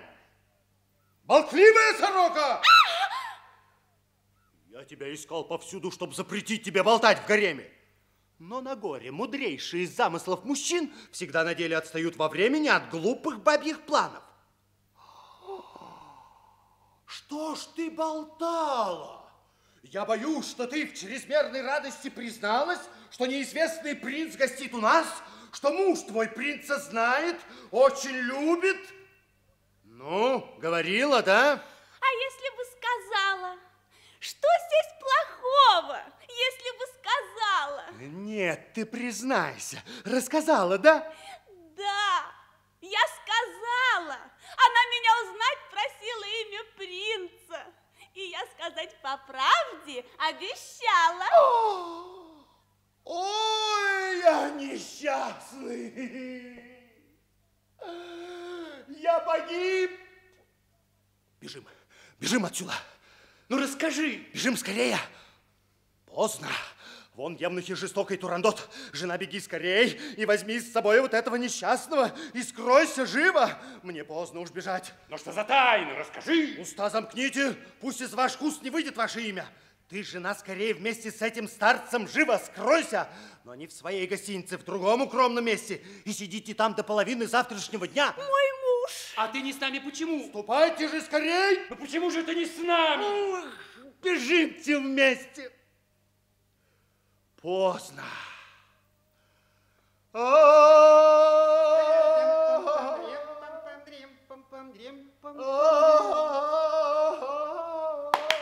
Эй, стража! Я здесь. Поешь? Поешь. Хорошо поешь. Где ты сядешь? Вы ищете Гасана? Я Гасан. Гасан? Это уже подозрительно. А это кто с тобой? Это я. Старик? Мгм. А это кто? Дама. Кто эта дама, Гасан? А, госпожа твоя меня искать велела. Брось старика и эту даму и пойдем. Нехорошо бросаться собственной женой. Эй, стража! Кандалы готовы? Готовы. Связать! Крепко связаны! Крепко! Але!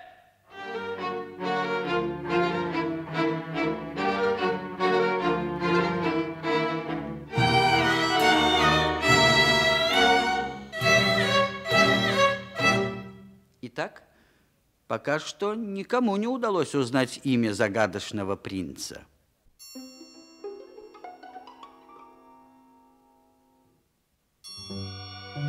Ночь. В одном из залов близ Сираля заточен Калов. Ему не спится. Он шагает из угла в угол. За принцем наблюдает стерегущий его Бригелла.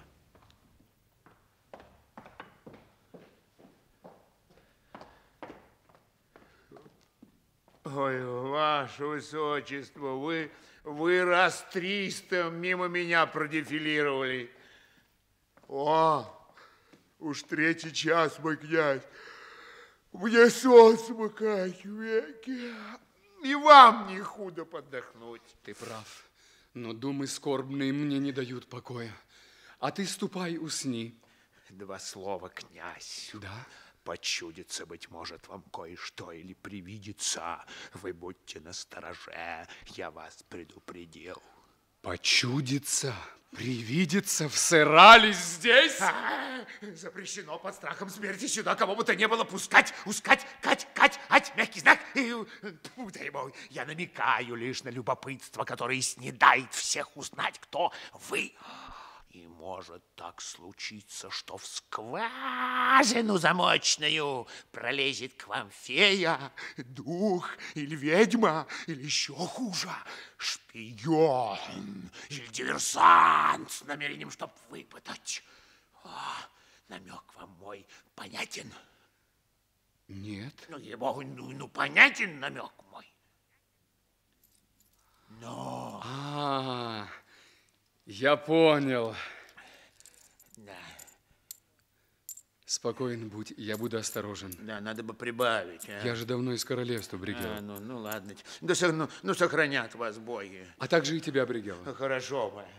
Бригела! Что ты присел? Э, Да не- нет, нет, это у меня производственная гимнастика. Э, Закаляйся, если хочешь быть здоров. Забросил в душу он подозрение мне. Кто ж нападением мне здесь грозит? Не за горами утро, недолго мне лежать на ложе пыток. Попробую я сон к себе сманить, чтоб веки мне усталые смежил.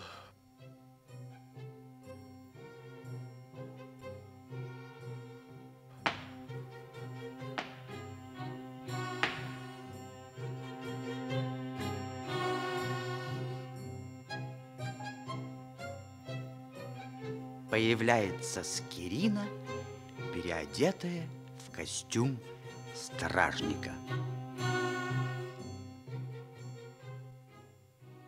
Мой господин. Ой, как сильно сердце бьется. Зачем? Не узнаете вы меня? Скирина я, жена Гасана. Я пробралась сюда секретными путями, переодевшись стражником. Кто-то Турандот сказал, что муж мой раньше вас знавал. Она велела привести в гарем его и ваше имя вырвать силой. Мой бедный друг. Я больше вам скажу. Ваш отец ко мне приехал. Мой отец? Да, он теперь вдовец. Он вашей матушки лишился. О, мать моя! Еще должна я вам сказать, знает ваш отец, что вы содержитесь под стражей. Он теперь боится, плачет. Даже он хотел явиться к Турандот и ей открыться. Хочу, кричит, я сыном умереть. Что? Хочу, кричит, я сыном умереть. Его одним сдержала обещанием. от вас ему записку принести, написанную вашей рукой и с вашей подписью. Здесь мой отец, а мать скончалась. Меня обманываешь ты, Скирина. Если я солгала, пускай Бергингузин спалит меня огнем. О, мой отец несчастный. Вы поторопитесь. На случай, если не найдется под рукой. Я принесла перо, чернил, бумагу, все приготовила. Пускай старик получит строчку с подписью, что сын его в безопасности накануне счастья. Давай сюда дощечку. И подпись. Нет, постой. Ты, кажется, имеешь дочь в Сырале. Ну так что же? Ступай к отцу Скирина и скажи, что пусть он явится без страха к хану, ему откроется чистосердечно, и буду я доволен тем. Как вы не будете писать? Одно лишь слово. С подписью. Нет, лишь завтра все узнают, кто я. Но я дивлюсь, жена Гасана пытается меня предать. Я предаю? Ну, не ждала я, что после таких трудов и резко меня ж начнут корить, что предаю. Хитра, Адельма, но не просто этот. Я удалюсь и передам, что вы сказали.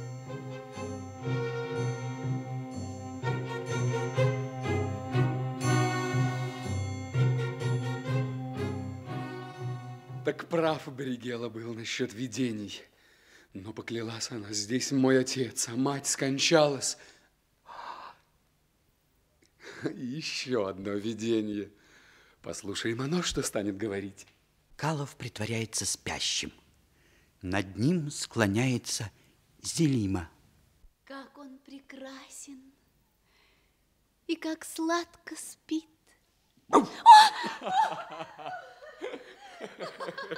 Я князь, служанка Турандот Зелима, я принесла вам радостную весть. Хвала богам, пора б добру явиться. Но я себя надеждою не тешу. Бесчувственно я знаю Турандот. И все ж вы сердце гордое ее смягчить сумели. Вы первый, вы один.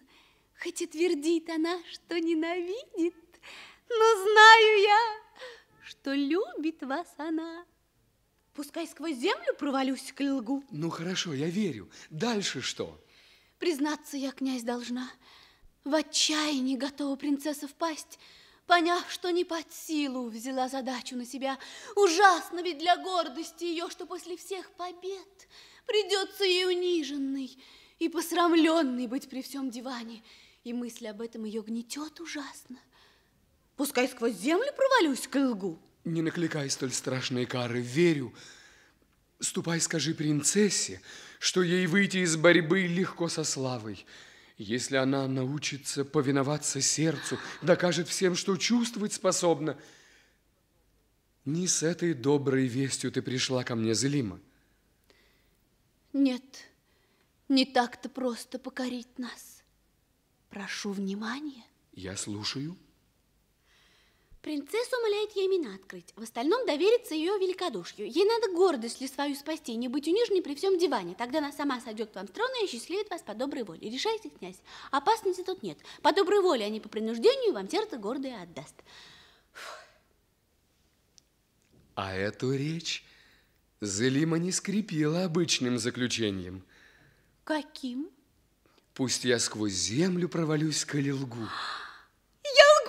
По-вашему. Уверен в том, и твоего совета я не приму. Отправляйся к своей принцессе и скажи ей, что слава моя и гордость в ее любви. Так пусть простит отказ моей любви горячей. Вы, князь, подумали, во что вам может горячность ваша обойтись? Пусть стоит хоть жизнь мне. Так ничего вы мне не сообщите? Не сообщу. Даром потратила и труд, и время. Прощайте, князь! Скройтесь, смешные привидения. Но поклялась она в столице мой отец, а мать скончалась. Но мужество уже недолго ждать решения судьбы, и надо мною Бог сна уж веет легкими крылами. Чья-то темная фигура метнулась от стены к стене, приблизилась к ложу Калафа. Это княжна Адельма. Желанный миг, о вожделенный час, Любовь, ты до сих пор мне помогала, Вливала мужество и силу в душу, Вложишь в уста мне пламенные речи И помоги, влюбленной страстно, Победу одержать. Возлюбленный мой спит. Не бейся, сердце, тревожно так, не трепещи. Как жаль мне свеять с вас, О, милые глаза, сны золотые. Но близок день, и не могу я медлить. Проснитесь, князь! Кто сон мой нарушает? Видение новое. Исчезни, призрак. Не бойтесь. Садитесь. Слушайте. Кто я, по-вашему? Скажите мне. Ваш величавый стан и вся осанка невольно внушает уважение. По платью же передо мной рабыни, которую в диване видел я, и пожалел. Пять лет назад, еще любимицей судьбы, впервые вас увидала, князь. Видишь, говори мне, ты знаешь, видал меня когда-нибудь ты раньше? О, боги! Возможно ли, Адельма, вы? Да, я дочь хана Харасанского. Для трона я рождена была. Рабыней стала. Княжну, дочь ханскую, рабыней вижу. Теперь вы знаете меня, княжне и ханской дочери, должны вы верить. Да говорите же, Адельма. Узнаете же. Но нет, подумаете вы, что я вас обмануть хочу, как те рабыни продажные. Вы мучите меня. Я заклинаю вас сказать мне прямо, в чем можете вы обвинить ее, владычицу моей несчастной жизни. Жестокая, коварная принцесса не постыдилась приказать убить вас завтра, князь. Вот вам богиня ваша. Как только завтра сделаете вы шаг отсюда, вас тотчас же пронзят десятками кинжалов. Бесчеловечная так приказала. Я стражу позову, предупрежу Бригеллу. О, наивный, несчастный! Вы не знаете, где вы, опутаны кругом вы гнусной сетью. Та стража самая, которой хан вас поручил оберегать, принцессой подкуплена, чтобы умертвить вас завтра. О, мой отец несчастный, хан Тимур! Тимур отец! Погибнуть должен твой Калав. Калав! Судьба жестокая. Тимура сын Калав. Прости, о жизнь, бороться невозможно с неумолимой судьбой. Твой взгляд жестокая моею бьется кровью. Жизнь улетай, от смерти, от смерти не уйти. Я укажу вам путь ее избегнуть. Там, в моих краях, сокровище зарытое лежит. Нас кони ждут, проводники готовы. Бежим из этих стен, на них проклятие богов лежит. Бежим в Берлу, я соберу войска, восстановлю владенья и отдам тебе. Уж петухи поют. И во дворце движение началось. Заря восходит, с собою смерть неся. День близок, я страдаю, принц бежим. Великодушная княжна, мой друг единственный, как больно мне, что с вами бежать в Берлу, принять от вас свободу и вам помочь отцовский трон вернуть. Я не могу. Что о таком побеге сказал бы хан? И в сердце я своем, княжна, неволен. Желанной будет для меня и смерть, когда она мне шлет ее. Спешите же спастись одна, и да хранят вас боги. Безумец вы! Так вы решили твердо? Решил остаться здесь, дождаться смерти. Нет, не любовь удерживает вас ко мне, презренье. Вам смерти желанней, чем побег со мной. Так оставайтесь.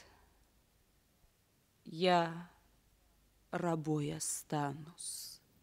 Ни свободы, ни счастья мне не надобно без вас. Посмотрим же, кто смерть смелее встретит. Тимура, сын Калав. Прощайте, неизвестный князь.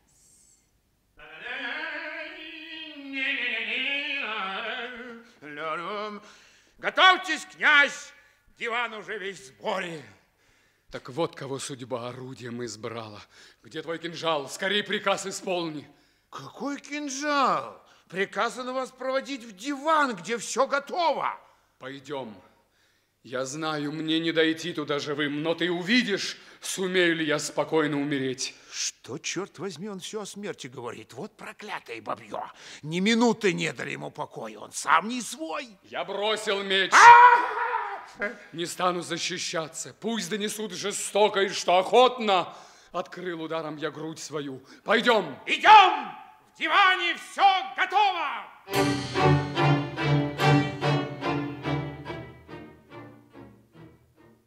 Антрект! Третий акт спектакля «Принцесса Турандот».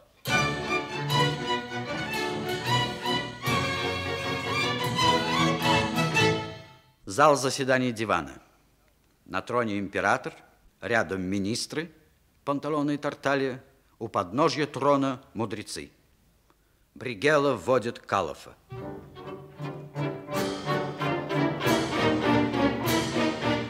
Неужто я весь путь прошел благополучно? Никто меня не тронул. Милый сын, я вижу, ты взволнован. Я хотел бы тебя веселым видеть. Сегодня кончатся твои невзгоды. Твоей супругой станет Турандот. Она ко мне три раза присылала, прося освободить ее от обязательства в диван явиться и от союза брачного. Видишь, как долго не идет она? А я послал с решительным приказом немедленно явиться пред диваном, а в случае отказа привести хотя бы силой.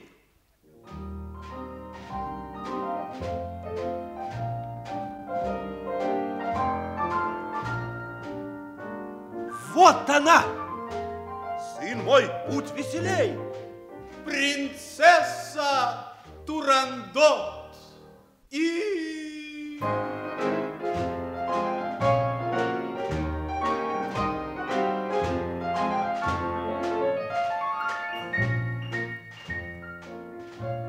Согласно ритуала, первыми появляются рабыни.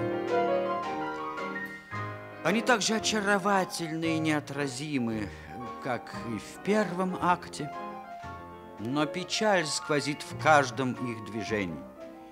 Ведь сегодня решается судьба их гордой и своенравной принцессы.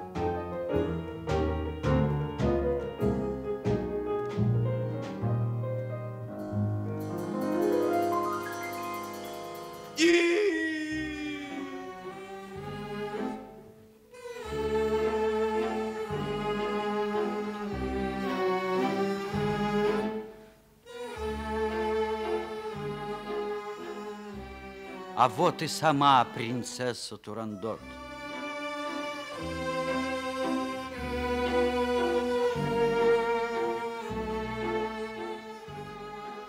Она в трауре. Ее фигура выражает полную покорность судьбе.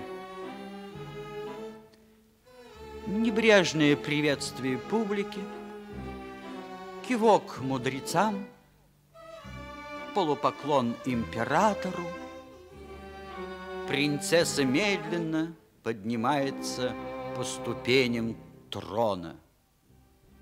Я знаю, чужестранец, что весь вид моей угрюмой свиты, печаль и знаки траура тебя, конечно, должны порадовать.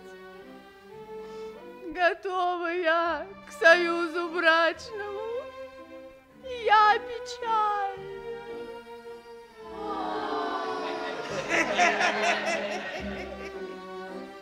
Поверь, что я употребила все свое искусство, чтобы отомстить за стыд вчерашний. Но теперь судьбе я уступить должна. О, Турандот, как я хотел бы душу вам открыть и показать, что вашей печалью омрачена моя живая радость. Милый сын, она не заслужила таких смиренных слов. Пусть музыка играет веселей, пусть брак священный будет заключен. Еще не время! Нет прекрасней мести, как притвориться, вселить уверенность, покой и радость в душу, чтобы затем внезапно превратить всю радость в горе. Вон из дивана! Калов, сын Тимура! Вот имена, которых ты хотел. Ищи жену другую и знай, как Турандот умеет побеждать. О, я несчастный! О, мондио, как она его отбрила. Калов, верь, печаль терзает сердце старое. Какой нежданный случай! Злима, дольше сердца от него не защитить мне. Сдайтесь, уступите. Жестокая, ты сожалеешь, что не умер тот, кто так тебя любил. Но я хочу, чтобы ты и жизнь мою завоевала. Вот он, у ног твоих тот Калов, которого ты знаешь, ненавидишь, который презирает землю, небо, и на твоих глазах от горя умирает. Кала, что ты? Как? Ты хочешь, что, Рандот, чтоб жил я без тебя, страдая бесконечно и мучаясь всю жизнь? По крайней мере, будь хоть в этом милосердной, позволь мне избежать такого горя. Если способна ты на милости здесь, в столице, есть мой отец Тимур, ты пожалей его, а мне позволь покинуть мир. Ты будешь жить. Ты должен для меня. Скорей, Зелима, беги ты кузнику его отцу. Бегу, бегу. Погибло все, надежды больше нет. Узнай, я победила лишь случайно. Сегодня ночью в странном забытии ты имена открыл моей рабыне Адельми. И от нее я их узнала. Узнай еще, что доблести твои, твой благородный вид, твоя любовь нашли дорогу к сердцу моему. Его склонить сумели. Живи! Будь справедливо гордым. Турандот твоя супруга. О, как я страдаю! Дочь! Дорогая! Ты искупила все своим порывом. Я буду жить. О, счастье, ты моя! Я же говорил, что все будет хорошо. Давай попляшем на радость. Всеобщая радость безгранична. Мудрецы пускаются в пляс. Император, обливаясь слезами радости, танцует с панталоны и бригелы. Рабыни окружают Турандот, а сама принцесса А принцесса находится в объятиях Калофа. Внезапно появляется Адельма. О да, живи жестокой, а ты, принцесса, знай, что ненавижу я тебя, что все мои дела имели целью добиться, чтобы он на мне женился. Пять лет назад еще в моих владениях его я полюбила, но слишком он тобою увлечен, и все на горе оказалось тщетным, и надежды развеялись, как дым. Теперь один мне остается путь. Я им пойду. Я рождена принцессой. Стыдно жить мне в рабстве, как жила до сих пор. Довольно для Адельмы этих бедствий, пора кончать. Пускай со мной погибнет последний отпрыск царственного рода. И кровь моя досмоет, наконец, позор цепей и тяжесть унижения. Вот тот кинжал, который твой супруг, тобой спасенный, для меня оставил. Пусть видит весь народ, что я могу разрушить цепи рабства. Остановись, Адельма! Оставь меня, тиран! Пусть ты, неблагодарный, дай мне смерть! Нет, ты не умрешь. Я признаю, что я тебе обязан счастьем. Твое предательство на пользу было. Клянусь богами, если бы я мог любить другую, моей женой была бы ты. Нет, нет, я недостойна твоей руки. Адельма, что с тобой? Лишь для него я шла на все. Предательницей стала.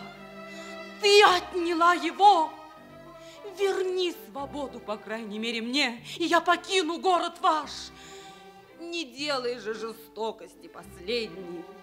Не заставляй меня увидеть вас, тебя и Калофа, соединенных вместе. Ревнивые сердца на все способны, на все пойдет в отчаянии душа. Помни, там, где Адельма, ты не можешь жить в безопасности. Ой, ой, Мне жаль ее, Адельму бедную. О, хан Альтоун, о, моя супруга, я вас молю, Адельме возвратить ее свободу. Я прошу о том же. Пусть она уйдет свободной. В такой счастливый день своих щедрот я мерить не могу. Одной свободы мало. Я возвращу Адельме мной отнятое царство. Молодец, старик! Пусть выберет себе супруга, чтоб с ним благоразумно, мудро, а не слепо, не дерзостно страною управлять. О, государь мой, слишком смущена раскаянием. Несчастная Дельма, моя любовь мешает мне понять и оценить благодеяние ваше. Но время просветит усталый ум. Теперь же я способна только плакать. Нет сил сдержать.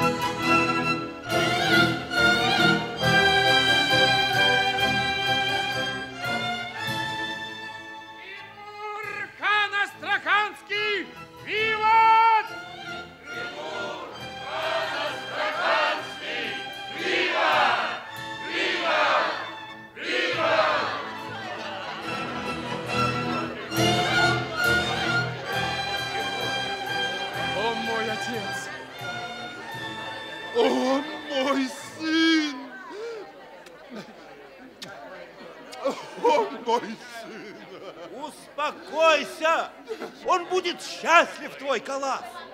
И ты порадуйся, ты снова царь. Твоя земля свободна. Этот варвар Хивинский хан жестоко управлял твоей страной и от руки вассалов, не вынесших свирепой тирании, пал мертвым. А скипетр державный твой твоим министром для тебя был сохранен. Барах выносит скипетр. Это простая теннисная ракетка. Тимур целует этот символ власти и начинает ответную речь.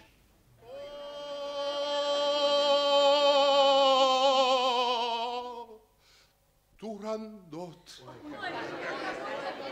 О, царь! Да брось ты плакать!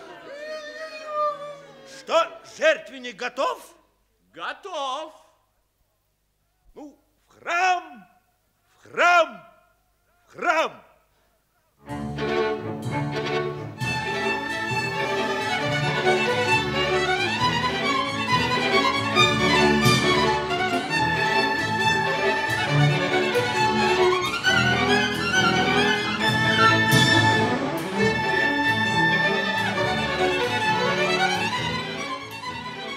Процессия направляется в храм. Впереди жених и невеста. За ними император со своими верными министрами. А далее рабыни под командой Труфальдино.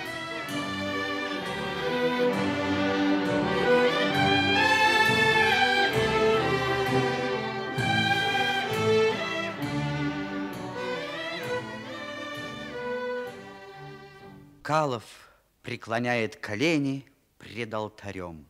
О, ну мы вечные, к вам простираю руки, вам мои восторги, к вам мои благодарения.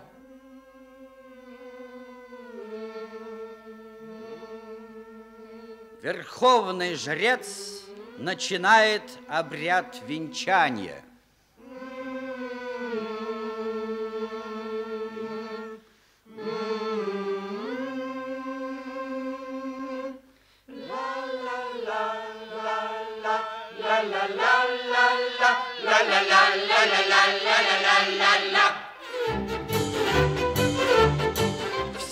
Актеры выходят на просцениум.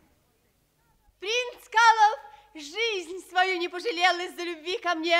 Его министр для счастья господина своего пошел на смерть, а тот старик несчастный ради сына близко видел смерть. А женщина, которая была мне скорее подругой, чем рабыней, меня же предавать решилась в течение шести картин. Узнайте же, любезные мужчины, что я вас всех люблю. И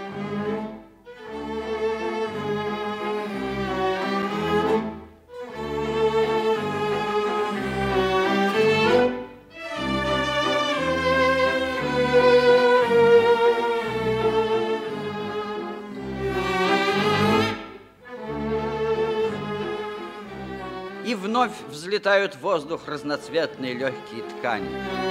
Актеры снимают театральные костюмы. Плащ Адельма становится обыкновенным шарфом, одеяние Тимура – простой скатертью. И мы опять видим актрис в бальных туалетах, актеров во фраках.